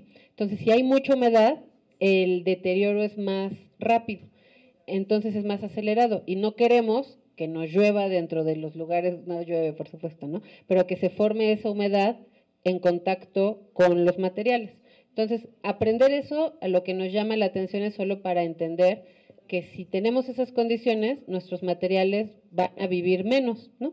Entonces, pueden vivir, por ejemplo, un VHS, eh, quien haya registrado en VHS en los 90, todavía 2000, tiene más o menos unos 5 años todavía porque si se guardó en la Ciudad de México con las condiciones que tenemos, tiene más o menos ese tiempo en el que ya va a empezar a deshacerse el material, se empieza a volver pegajoso. Entonces, eso ayuda, en cada formato hay ciertas condiciones adecuadas. Los discos duros también, ¿no? Bueno, es que, perdón, pero luego se me olvida que acá todos somos de discos duros.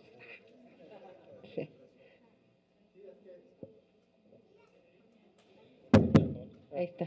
Que no solo es este, la, la humedad relativa en este caso, sino que son condiciones con este, temperatura, temperatura, este, limpieza de aire, la- que vendría siendo la humedad relativa y qué tan corrosivo es el ambiente por polvo y cosas por el estilo, en el cual hay un rango de condiciones para las cuales la conservación es óptima, como en el caso de los equipos electrónicos, ¿no? que por abajo de cierta temperatura o por arriba de cierta, cierta temperatura ya no funcionan bien, solo en, en un rango de temperaturas. Exacto. Entonces, cuando empezamos a ver estas condiciones y tenemos un tipo de colección que es susceptible o muy sensible a condiciones muy específicas, entonces nos juntamos y decimos, a ver, ¿tú cómo le haces? Porque claramente implica tener aparatos que regulan la humedad y la temperatura prendidos todo el tiempo. Entonces, por ahí empezamos como a especializarnos, ¿no? ¿Ven qué divertido es? Súper. Eh, ¿Mande? ¿Sí? Yo rápido. Sí, que en especial, sí, como que to- al final todos lo- los materiales, materiales que no necesariamente ahora hablando de discos duros, pues absorben, absorben agua, sí o sí, el papel, el cartón, la pared. Entonces generalmente, y creo que tenía que ver con lo que tú querías preguntar, algo así al inicio, o sea, como en una casa hay factores muy específicos de deterioro, como por ejemplo la pared, las paredes que están junto al baño, por ejemplo, ¿no? Donde hay tuberías va a ser más húmedo. Si está apagado, si no hay mucha luz del sol, va a ser más húmedo. Y eh, eso ayuda a ser como un factores como de riesgo de una casa. En especial, casi todo lo que se llama archivo, o sea, en, en la cabeza, siempre tiene que ver con una zona oscura de la casa que nadie visita, que es medianamente húmeda y donde nadie va a estar moviendo cosas cada cierto tiempo. Entonces el gran riesgo del concepto archivo en la cabeza es que por defecto está en las peores condiciones de conservación. O sea, es el álbum de fotos que está en la bodega, abajo de todo, encima de una gotera y que nadie revisa cada 10 años. Entonces, obviamente, por defecto, aunque para ti es muy preciado, en los hechos está condenado a la composta, digamos.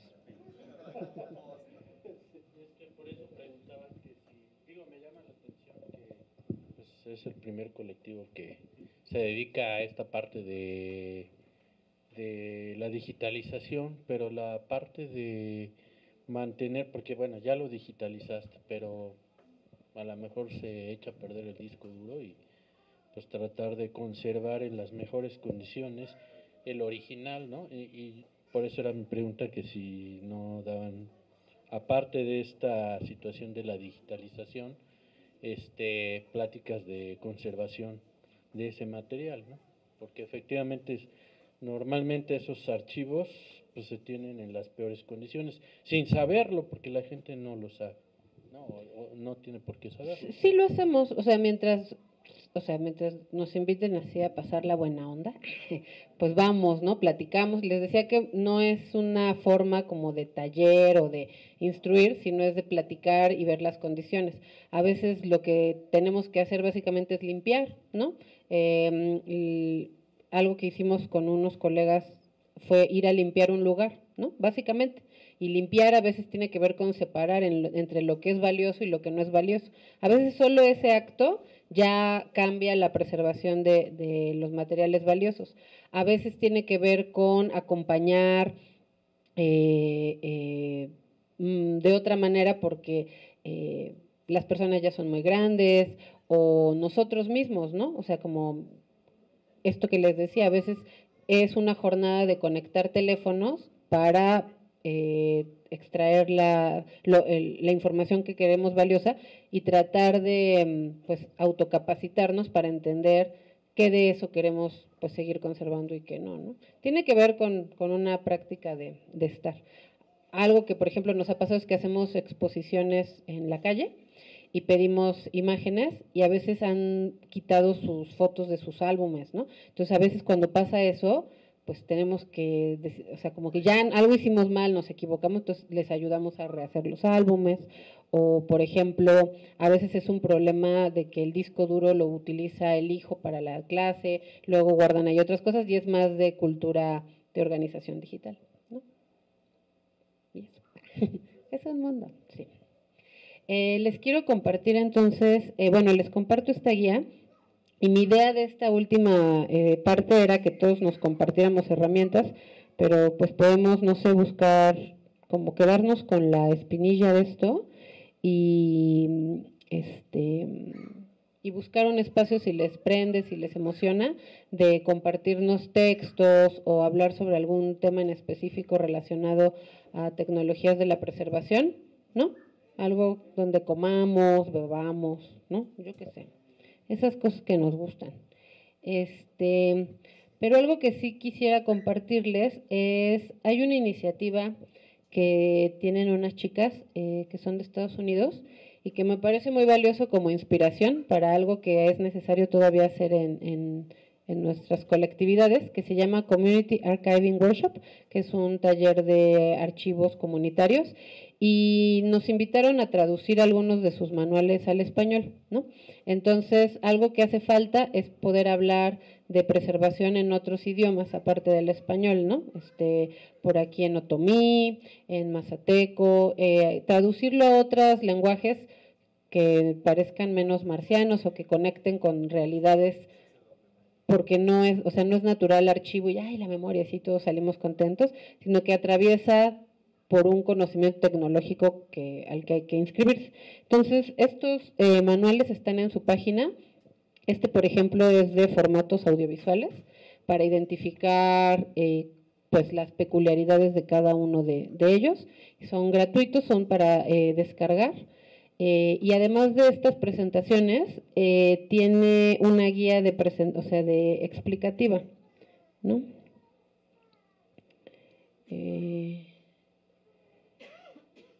Entonces vienen, vienen las traducciones y es algo muy parecido también a lo que ha propuesto. Bueno, Witness tiene su propia, también su guía de preservación para em, productores audiovisuales, ¿no? No me acuerdo ahorita cómo se llama. Y en esta también algo que, ¿cómo se llama? Sí, ¿no? Productores audiovisuales. Este, eh, déjenme les presento otro. Hay algo que, en la cultura de visualizar nuestra práctica como archivo, eh, me gusta cómo se le llama, pareciera como prepararse para el desastre, para un huracán. Me encanta porque en realidad vivimos en el desastre, ¿no? Y entonces, cuando ustedes busquen de preservación, busquen preparación para desastres y está bien padre porque entonces se parece mucho a la situación en la que vivimos. Espérenme. Ajá, ¿no? Es como de sí hay incendios, este, inundaciones, este, ocupación de nuestros espacios. Entonces, creo que, que algo que también hay que mm, integrar como parte del diagnóstico es el, el, riesgo, ¿no? El riesgo de que ocupen nuestros espacios con nuestros servidores, que, que nos desalojen, que se moje, que tiemble, que nos peleemos en el colectivo, como sentarse a pensar en, en cuidar nuestros materiales como qué riesgos podrían haber para que eso no continúe en el estado en el que está. Entonces, esta es una guía como de preparación para el desastre catastrófico, pero en realidad creo que sirve para nuestras realidades. ¿No? Entonces, por ejemplo, ellos las, eh, las dividen como prevención, preparación y respuesta.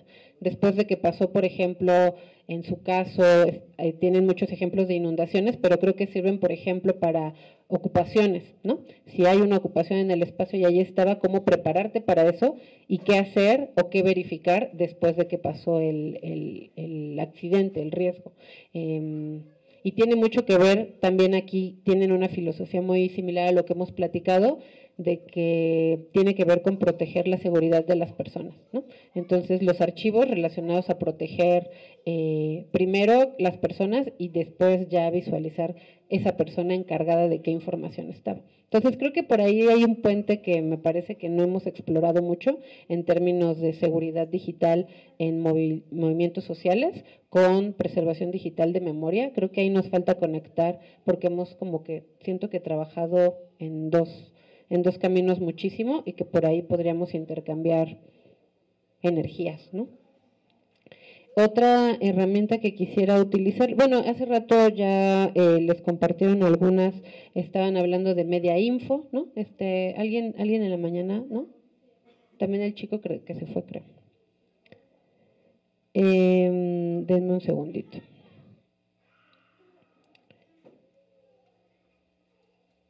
Un segundito, un segundito. No sé si eh, voy a conectar otra cosa. Si alguien quiere compartir alguna herramienta que tenga que ver con esto, que utilice por ahí. Un recurso, una página, un sitio. Sí, a ver. Les pasan el micrófono. Ahí hay una y allá hay otra.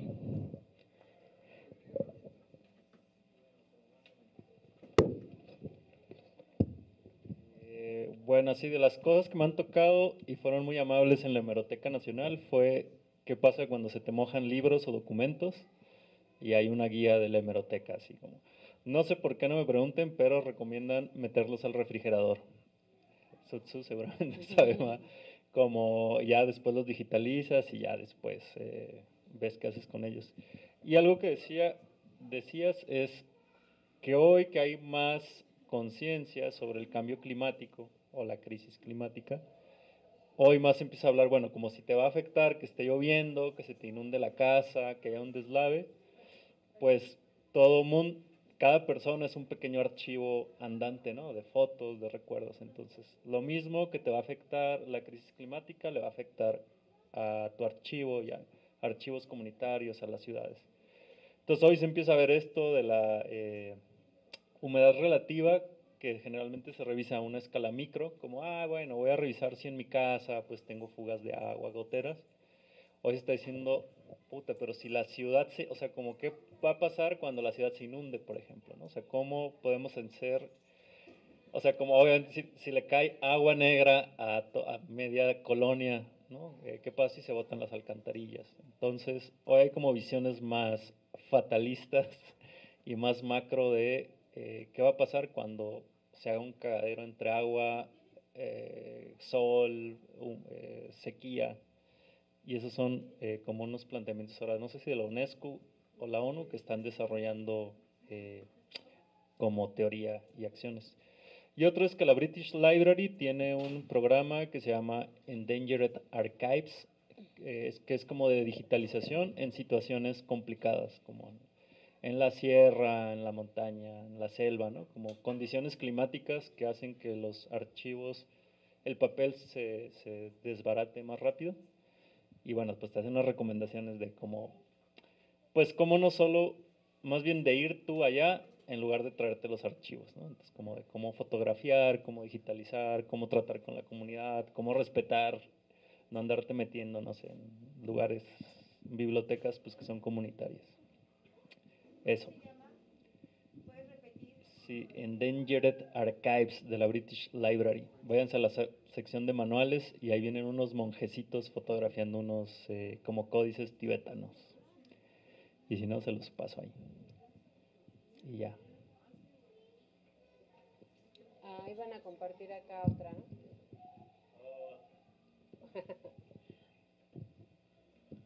Pues, o sea, Creo que no mencionaste el, justo con esto de los archivos digitales y eso, pues el torrent.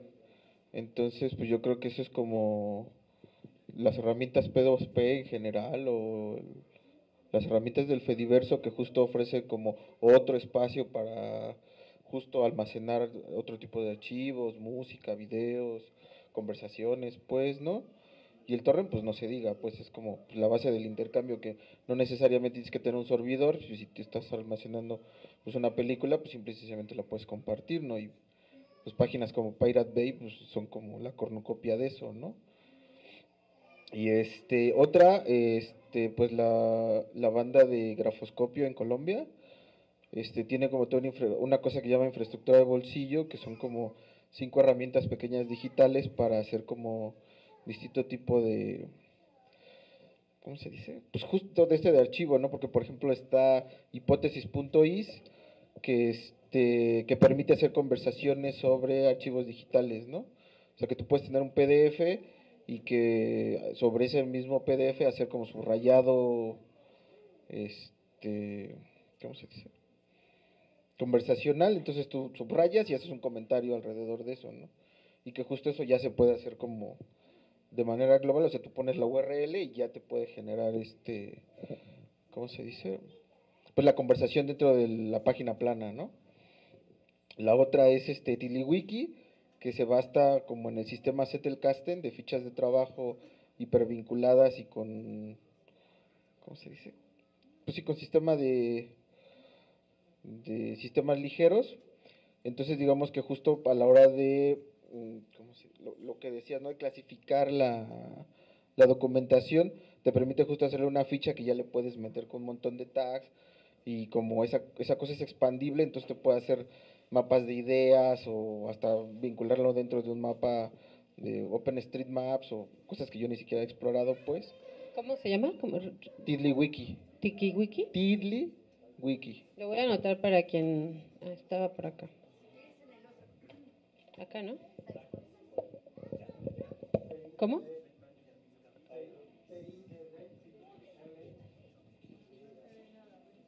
Ah, o lo pongo acá mejor. Bueno, tú lo escribes y yo lo pongo acá. T I T I Y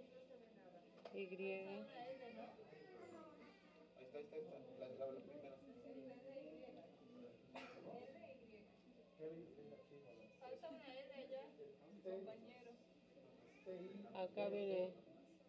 le falta una L. Tiliwiki. A ver. La, ventaja de eso es que de hecho pueden tener una base local. Y el, o sea, eso permite generar una base local. El programa por sí mismo trabaja en, con 4 gigas, digo 4 gigas, 4 megas de capacidad y justo se ve navegador, pues, o sea, e, e, esa misma template se puede descargar con este botoncito que está acá. Y se guarda en local, pues. Y justo este, en particular se tiene que poner un plugin. De hecho, lo explica un par de, ¿cómo se dice? De titlers abajo. Pero ya permite justo también la edición. O sea, de hecho, si le picas acá en este botoncito, en el lapicito, enseña cómo se ve el código. De hecho, si, si, si abren el ojito, por ejemplo, acá.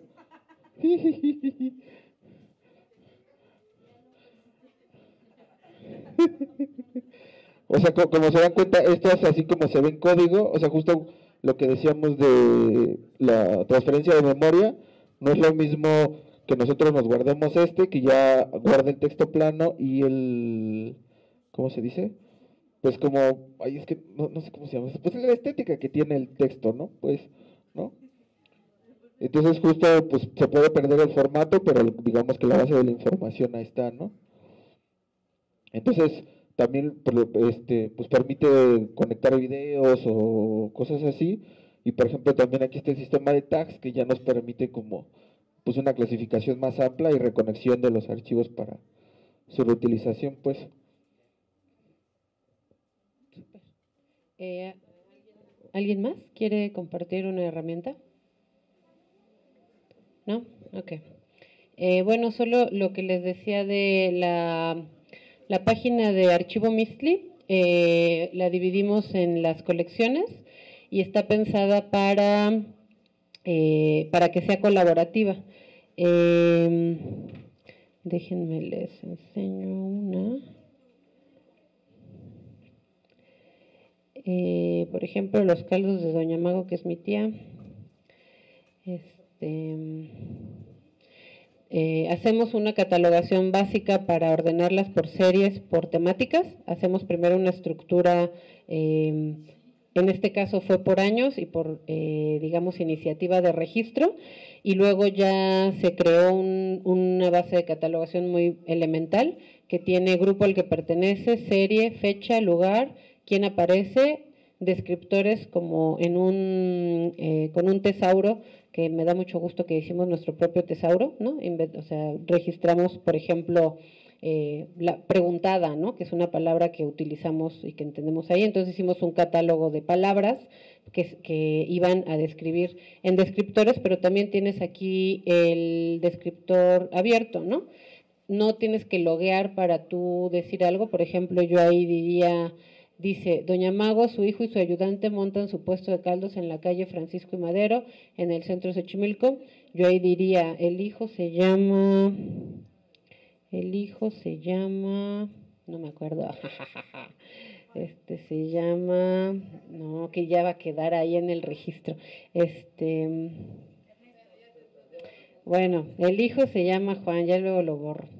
Este, y entonces aparece ya en el descriptor. La forma en la que lo pensamos es que privilegiamos que puedas participar a que haya un moderador muy visible. Entonces nos llega a nosotros al correo un cada semana quién agregó algo y lo terminas de validar, pero lo que nos interesaba más era la dinámica de pensar que requieren ser descritos los materiales. Igual con los descriptores, si aquí tú puedes agregar el nombre o puedes agregar el lugar si tienes más información y no se necesita loguear. Y luego teníamos una inquietud que era que eh, luego eh, les pidieran eh, monografías para entregar en la escuela de historia de su comunidad o tuvieran que investigar sobre la historia de algo y lo que queríamos era que pudieras crear tu historia con las imágenes de la página. Bueno, aquí sí tienes que crear sesión para poder crear una historia, pero puedes leerlas de las historias de los demás y luego la puedes bajar en PDF, ¿no? Por ejemplo, el arte de las portadas, algunas son más largas que otras, ¿no? Y escogen fotografías para reorganizarlas en su lógica.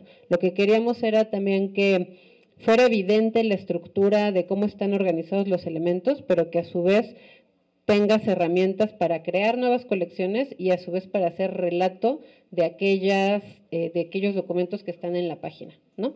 el reto que tenemos ahora es que eh, necesita activarse, ¿no? o sea, no, no nos satisface la vida solamente digital del proyecto, sino que requiere que tengamos otras dinámicas presenciales para llevarlo a las escuelas, en la calle y la paciencia que requiere para colaborar en algo así, ¿no? Tiene sus lados eh, muy emotivos, pero tiene otros también de, de, sufrimiento, ¿no? Este es el de sufrimiento porque diseñarlo como que le dedicamos mucho tiempo, pero requiere activarlo como presencialmente, no funciona solo en lo virtual. Entonces tú podrías después ya bajar la historia, ¿no? Por ejemplo, ahí está el, relato y por ahí te puede, dice, puedes descargar la historia y se te baja como una como un PDF para con las descripciones, ¿no? También puedes bajar y esto luego lo utilizan para hacer las tareas los niños. Este, ¿qué iba a decirles? y ahí también pueden descargar algunos de los proyectos que tenemos de, algunos libros, pueden descargarlos, todos son también libres. Y de algunos, eh, digitalizamos también algunos materiales que son de acceso muy limitado, como el libro de bautizos de 1597-1603, que puede parecer random, pero que es como fundacional del momento en el que se borró eh, los nombres de las familias de nuestras comunidades. Entonces, para nosotros es muy significativo que lo puedas ver y tradujimos una parte para que la gente pueda saber cómo, cómo leer y cómo buscar su barrio y su familia. ¿no? Entonces, puede parecer random ahí, ¿no? En lo digital, pero ese es el sentido.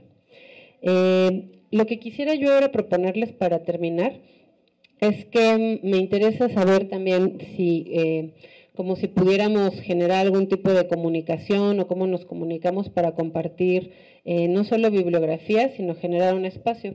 Porque, digo, yo he recopilado eh, información muy específica de video, de fílmico, de digital, de archivos familiares, archivos locales.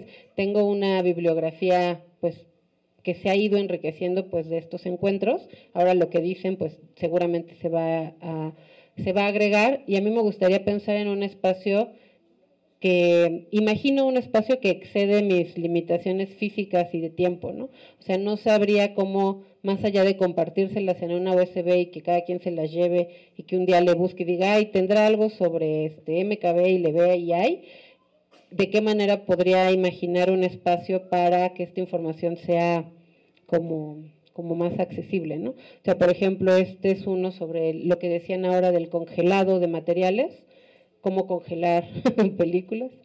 O, por ejemplo, acá tenemos otro de, mm, espérenme, de, mm, este, bueno, este es el de cómo congelar películas, eh, formatos de exhibición digital. Eh, tenemos por aquí eh, un manual de mantenimiento de máquinas de VHS, ¿no? Entonces, como hemos ido recopilando desde archivistas este tipo de recursos, de qué manera tenerlos en un espacio que pueda ser eh, más colaborativo, ¿no? Es lo que me falta y les solicito pensar, imaginar, ¿ok? y no sé si alguien quiera compartir algo para cerrar. Que quieran, que deseen.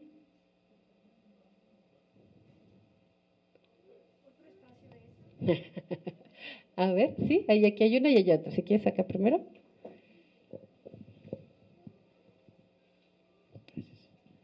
Eh, pues,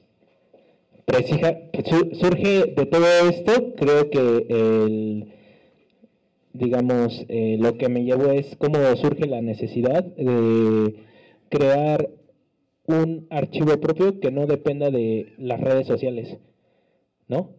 Em, y al que la comunidad pueda tener acceso. Entonces, em, por ejemplo, eh, yo a mí me interesa mucho la documentación lingüística en mi comunidad y pues tengo muchos archivos, pero todos los tengo como en mi memoria, ¿no?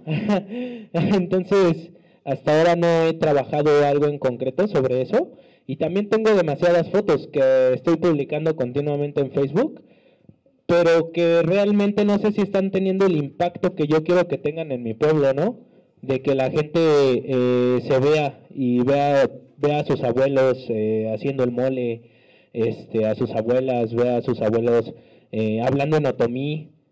Veamos a nuestros abuelos hablando en otomí y nos veamos a través de... y que nos identifiquemos, ¿no? con eso. O sea, que no sea, que no quede, eh, que no quede simplemente como un recuerdo de, ah, sí, mis abuelos hablaban otomí y ya no sé cómo era, sino que eh, esté un archivo al que se pueda acceder y digan, miren, sí, hablaban en otomí y decían esto, y ese mismo archivo sirva para poder revitalizar la lengua. Entonces, pues en un principio yo pensé en eso, en que podía usar los, eh, las plataformas digitales como Facebook e Instagram para difu, difu sí, difundirlos. Pero no, no sé si tengan, precisamente, ¿no? Surge esta duda ahora de si están teniendo el impacto o hay que replantear eh, las estrategias, ¿no? Para hacerlo llegar a la comunidad. Y pues ya, es eso.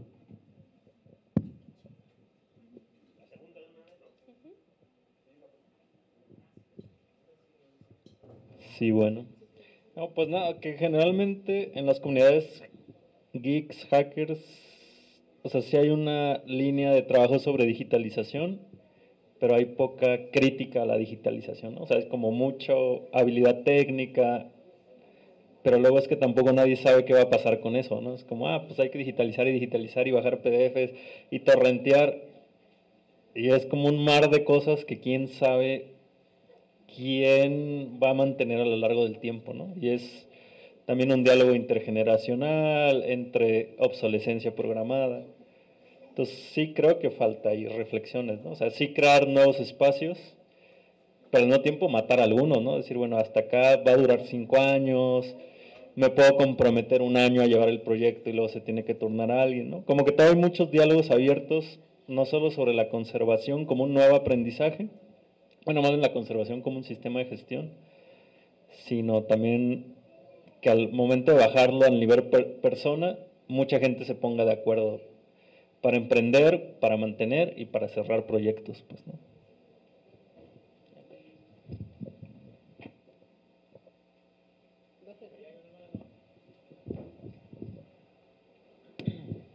Hola, buenas tardes.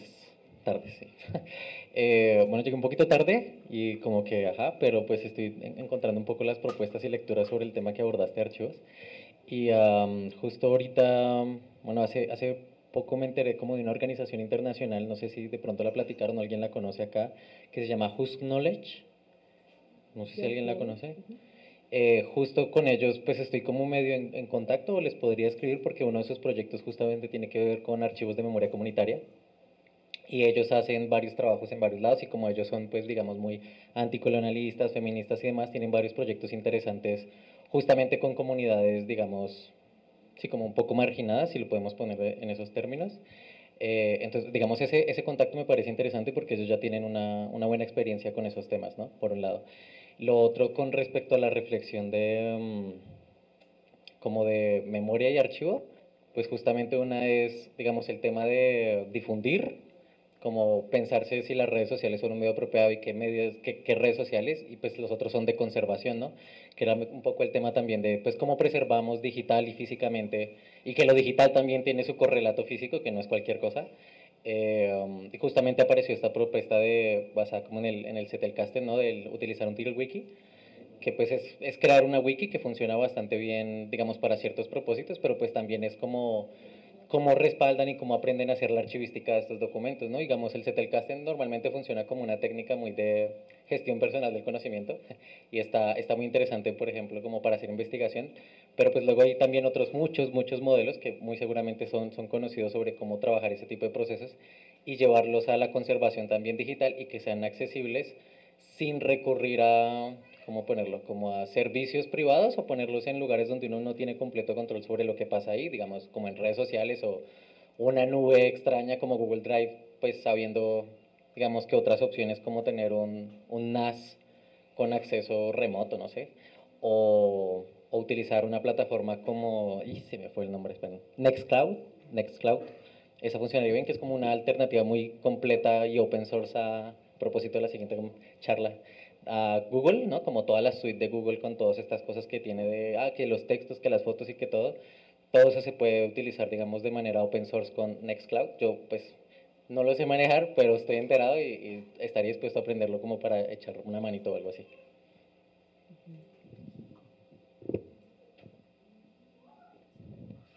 Uh, aquí hay una y luego acá hay otra.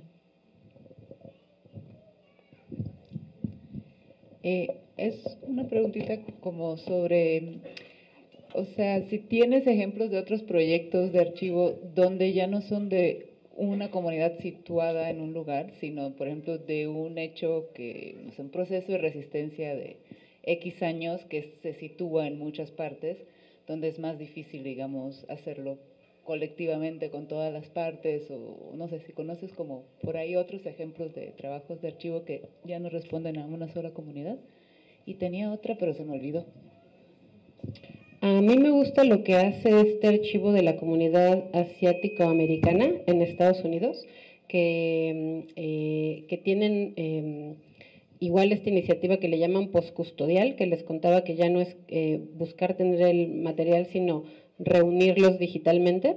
Y tienen periódicamente una, o sea, puedes darle tu colección, la digitalizan, pero también escogen momentos, ¿no? Entonces escogen, por ejemplo, este, la migración del 54 y entonces eh, recopilan en instituciones, recopilan en las familias y hacen un, digamos, un instrumento de consulta solo de esa fecha. Entonces a mí me parece que, son muy activos en encontrar eh, diferentes formas de hacer archivo sin tener que ser de una sola comunidad. Entonces tú puedes ver sus líneas del tiempo que son tanto de una institución pública muy grande como de la familia eh, que creció en el Bronx y que llegó en esa migración. Y han hecho unos modelos de catalogación que me parece que hacen dialogar de esa manera, que, creo que va por lo que estás preguntando. Es, eh, ahorita te digo cómo, pero es de la comunidad asiático-americana. Ahora, ahora les, les busco el nombre. Y... Eh, sí, eh, bueno, dos cositas. Uno es que Una es que mm, estamos trabajando un proyecto eh, que es también la conservación de archivo y la memoria en el caso de las resistencias. Entonces, cuando pasa la revuelta de Chile, eh, hay mucha gente en redes sociales que está subiendo material de denuncia, agresiones directas, asesinatos, etcétera, y tanto Facebook y el Estado chileno, etcétera, este, empiezan a, tirar ese material. Y mucha gente se preocupa porque dicen es que son las evidencias, ¿no? Este, y aparte son las formas de denuncia. Entonces la propuesta es descárguenlos y guardémoslo en una carpeta. Este, y primero de manera súper rudimentaria, hasta vía WhatsApp, vía, no sé, inseguro, inseguro. Y bueno, se ha ido perfeccionando, ahorita estamos en el proyecto Perú, no está la revuelta de Perú y está la misma necesidad. Ya le intentamos perfeccionar un poquito más, meterle un poquito más de seguridad para los que envían, para dónde se guarda, etcétera, etcétera. Pero bueno, se me hace importante como platicarlo, porque yo creo que un poquito la, intención del Jacomún es cómo hacemos esas eh, memorias y archivos de manera colectiva. Eh, yo tuve la, oportunidad de estudiar historia, eh, también estudié un poquito de archivonomía, eh, y las herramientas que te dan ahí en general para catalogar libros, videos, para su conservación, etcétera, pues son herramientas muy importantes que hay que colectivizar, pero creo que lo más importante es cómo los construimos de manera colectiva. Primero porque son varias disciplinas que tienen que estar interactuando y que, vamos, o sea, yo puedo hacer la memoria de mi pueblo, pero si el pueblo no está involucrado y si no tiene esa empatía, o si los, lo hago para que el antropólogo X le sirva y a mi comunidad ni conozca la página, o sea, ¿cómo hacemos esa, más, más bien esa vinculación? Eh, y eso yo creo que es una de mis, mis, preocupaciones. Yo creo que todas las herramientas, que si es Nextcloud, que si es Wikileaks, el problema es más, es más cómo esas herramientas se han vuelto tan complicadas que luego nuestras comunidades no lo pueden hacer. En el caso de Intimedia, por ejemplo, que nace con la autopublicación, era muy sencillo, o sea, regístrate, sube y a lo mejor está, el formato no es tan amigable y cuadritos, etcétera, pero tenía una lógica de que cualquier persona de manera intuitiva pudiera almacenar sus propios archivos y compartirlos y darle una categoría de con quién sí, con quién no, etcétera, etcétera, etcétera. Entonces, este, herramientas hay muchas, yo digo como los que tengan servidores, pues hagamos más espacios para que las comunidades publiquen, suban sus cosas, almacenen su memoria. Este, los que son archivonomistas, conservadores, acerquémonos a esas comunidades a rescatar. Eh, los que hacemos medios libres hemos hecho audiovisual, ¿no? Y por ejemplo, hay mucha banda que hace audiovisual y no edita, o que tiene material que es muy importante y que está en vías de, desaparecer. Y eso, ¿cómo hacemos espacios colectivos donde conservemos esa memoria? A mí me tocó, por ejemplo, hacer un documental sobre el FAT y me permitieron entrar a su biblioteca VHS, eh, betas, betacams, este, había rollos de 45 y todo eso es su historia, ¿no? Y así los pueblos y así las resistencias un documental del CEMPA allá en, Chiapas, lo mismo, sus fotos de mil años, como dices, con unos con goteras, otros con... Eh, y los documentalistas mucho, y tuvieron que hacer ese eh, trabajo de rescatar memoria y, divulgarla. ¿Cómo lo hacemos de manera colectiva? ¿no? Y cómo ocupamos todas estas herramientas digitales, no solo para que la gente lo conozca en otro, en otro país, sino para que nuestra comunidad tenga esa incidencia.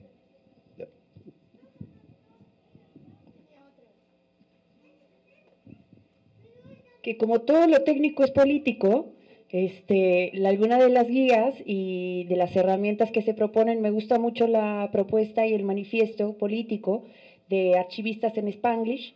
Entonces tienen un manifiesto en donde, pues, cómo utilizar estas herramientas, ¿no? Incluso cómo resguardar los archivos, eh, con qué visión, cuál es el compromiso político que se hace junto con las imágenes y, la, y el resguardo de las mismas, ¿no? Entonces, es un proyecto que quería mencionar nada más y que acá me comparto el asunto. De regreso en micro. Pues mm,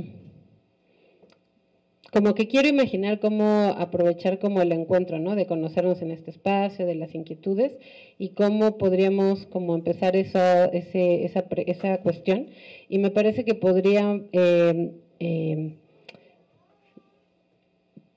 podría también quedar como, como cerrar la inquietud, ¿no? O sea, no me quisiera yo ir con la inquietud de no llegamos a nada, hay mucha inquietud, todos están en su onda, nadie va a tener el proyecto. Entonces les comento que voy a cerrar aquí este momento, ¿no? De, de forma, o sea, como de como de aprovecharlo para entonces proponerles otra, otro espacio, ¿no?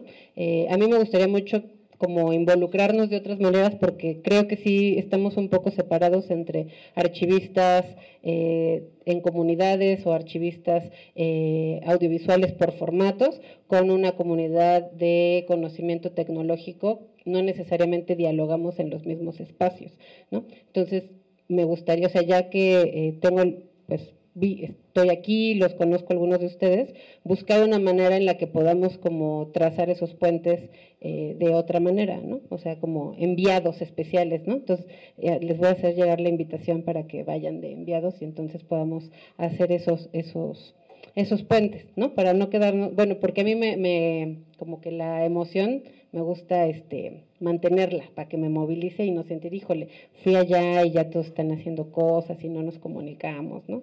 Entonces vamos a abrir un pad y luego todos van a abandonar el pad, ¿no? allá hay una pregunta o comentario.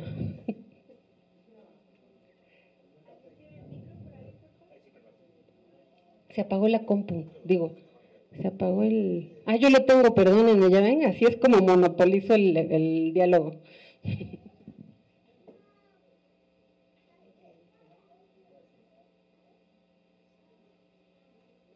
Creo que ya está funcionando.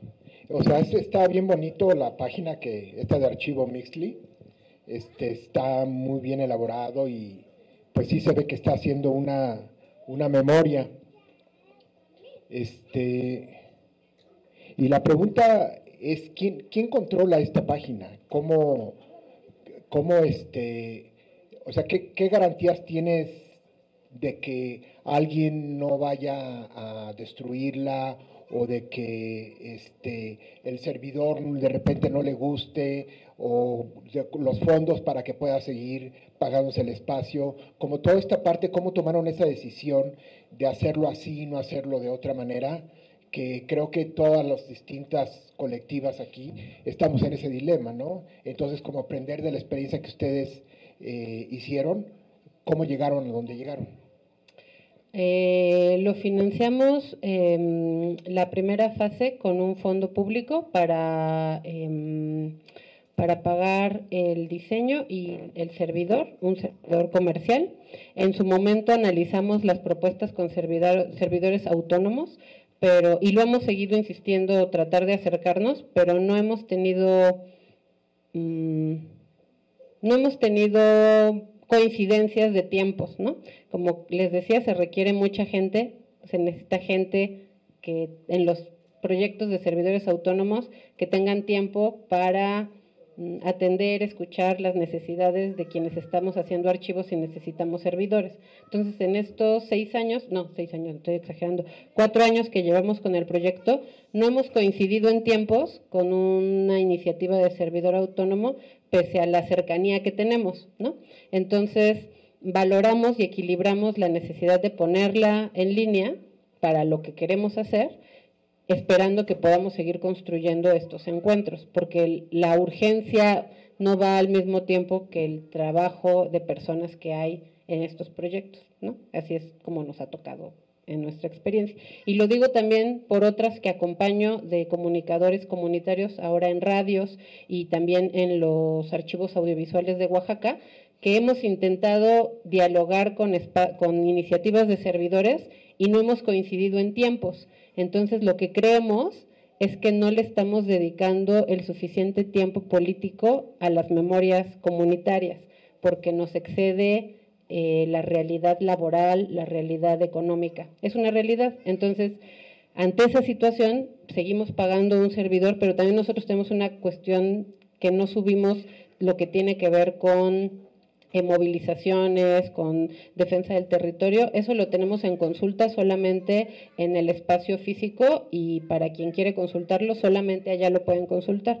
Lo que subimos es lo que también la propia, nuestros vecinos, los de los barrios nos permiten subir y lo puedes descargar y lo puedes bajar y tal vez si alguien quiere bajar todo y se lo apropia y lo registra, es muy probable que pueda hacerlo porque puedes descargarlo en baja calidad, pero podrías hacerlo. ¿no? Entonces creo que tiene que ver con un equilibrio entre la urgencia de querer compartirlo, la realidad de las conexiones de conocimiento que tenemos y eh, la, la, el plan B de seguridad que tenemos, que no compartimos aquí, lo que pone en riesgo a personas, que vaya más allá de, de, de lo que estás viendo. ¿no? Ahora, ¿por qué lo haríamos? Para nosotros el ejercicio intelectual y la declaración de decir que podemos tener un archivo comunitario en Xochimilco, el proceso de conocimiento que nos llevó a diseñar la base de datos, ponerlo en línea y que pueda yo contarles aquí a ustedes, nos pareció demasiado valioso como para detenernos porque no lo hacemos en un servidor libre o no tenemos todo disponible o no está en las condiciones que deseamos. Entonces, digamos que es una declaración para llamar la atención de por qué no existen espacios comunitarios de preservación de la memoria, pues los hacemos. Entonces, no es perfecto, no es, no sé, ¿no? por ahí va. Pero yo sí llamaría la atención sobre lo que les digo, la falta de tiempo de personas que se dedican a los proyectos de servidores autónomos en conexión con quienes estamos haciendo archivos comunitarios, audiovisuales, de movimientos sociales, de documentos, no hemos no coincidimos en agendas todavía, ¿no? No porque no queramos, ¿eh? no porque no lo hemos platicado. Yo creo que es una cuestión laboral, ¿no? De sobreexigencia del tiempo, ¿no? Yo misma, ¿no? O sea, yo misma, el tiempo que le dedico a esto y acompañar otros procesos, me excede mi tiempo vital de vida. Pero más en corto, creo que ahora que lo dije, varios de servidores autónomos me van a buscar. espero, espero.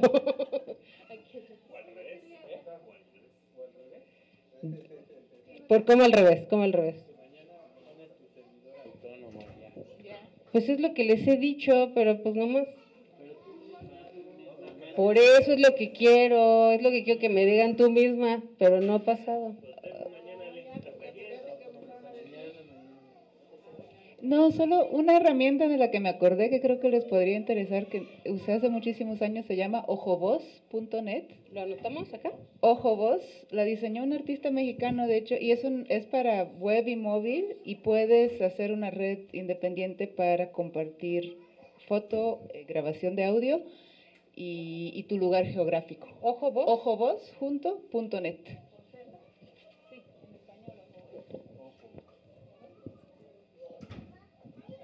Y aquí está la que te comentaba del archivo digital del, eh, eh, de la comunidad asiático-americana, es SAADA. Ajá, SAADA. No, sí, o sea, lo que deseo de los servidores de hacerlo yo y montarlo yo, y, o yo y el colectivo y así, es que siento que tiene que atravesar también por reconocer mutuamente las exigencias de tiempo, y de dedicación que hay, ¿no? O sea, como que atraviesa una realidad social para llevarlo a cabo, ¿no? O entre las exigencias, pues vas tomando decisiones de, de hacerlo, ¿no? Eh, pues creo que aquí lo podemos dejar, ¿no?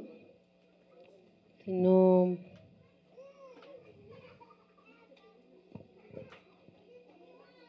Siempre es un placer verte. Muchísimas gracias, Sutsu. Un aplauso, porfa. Ánimo.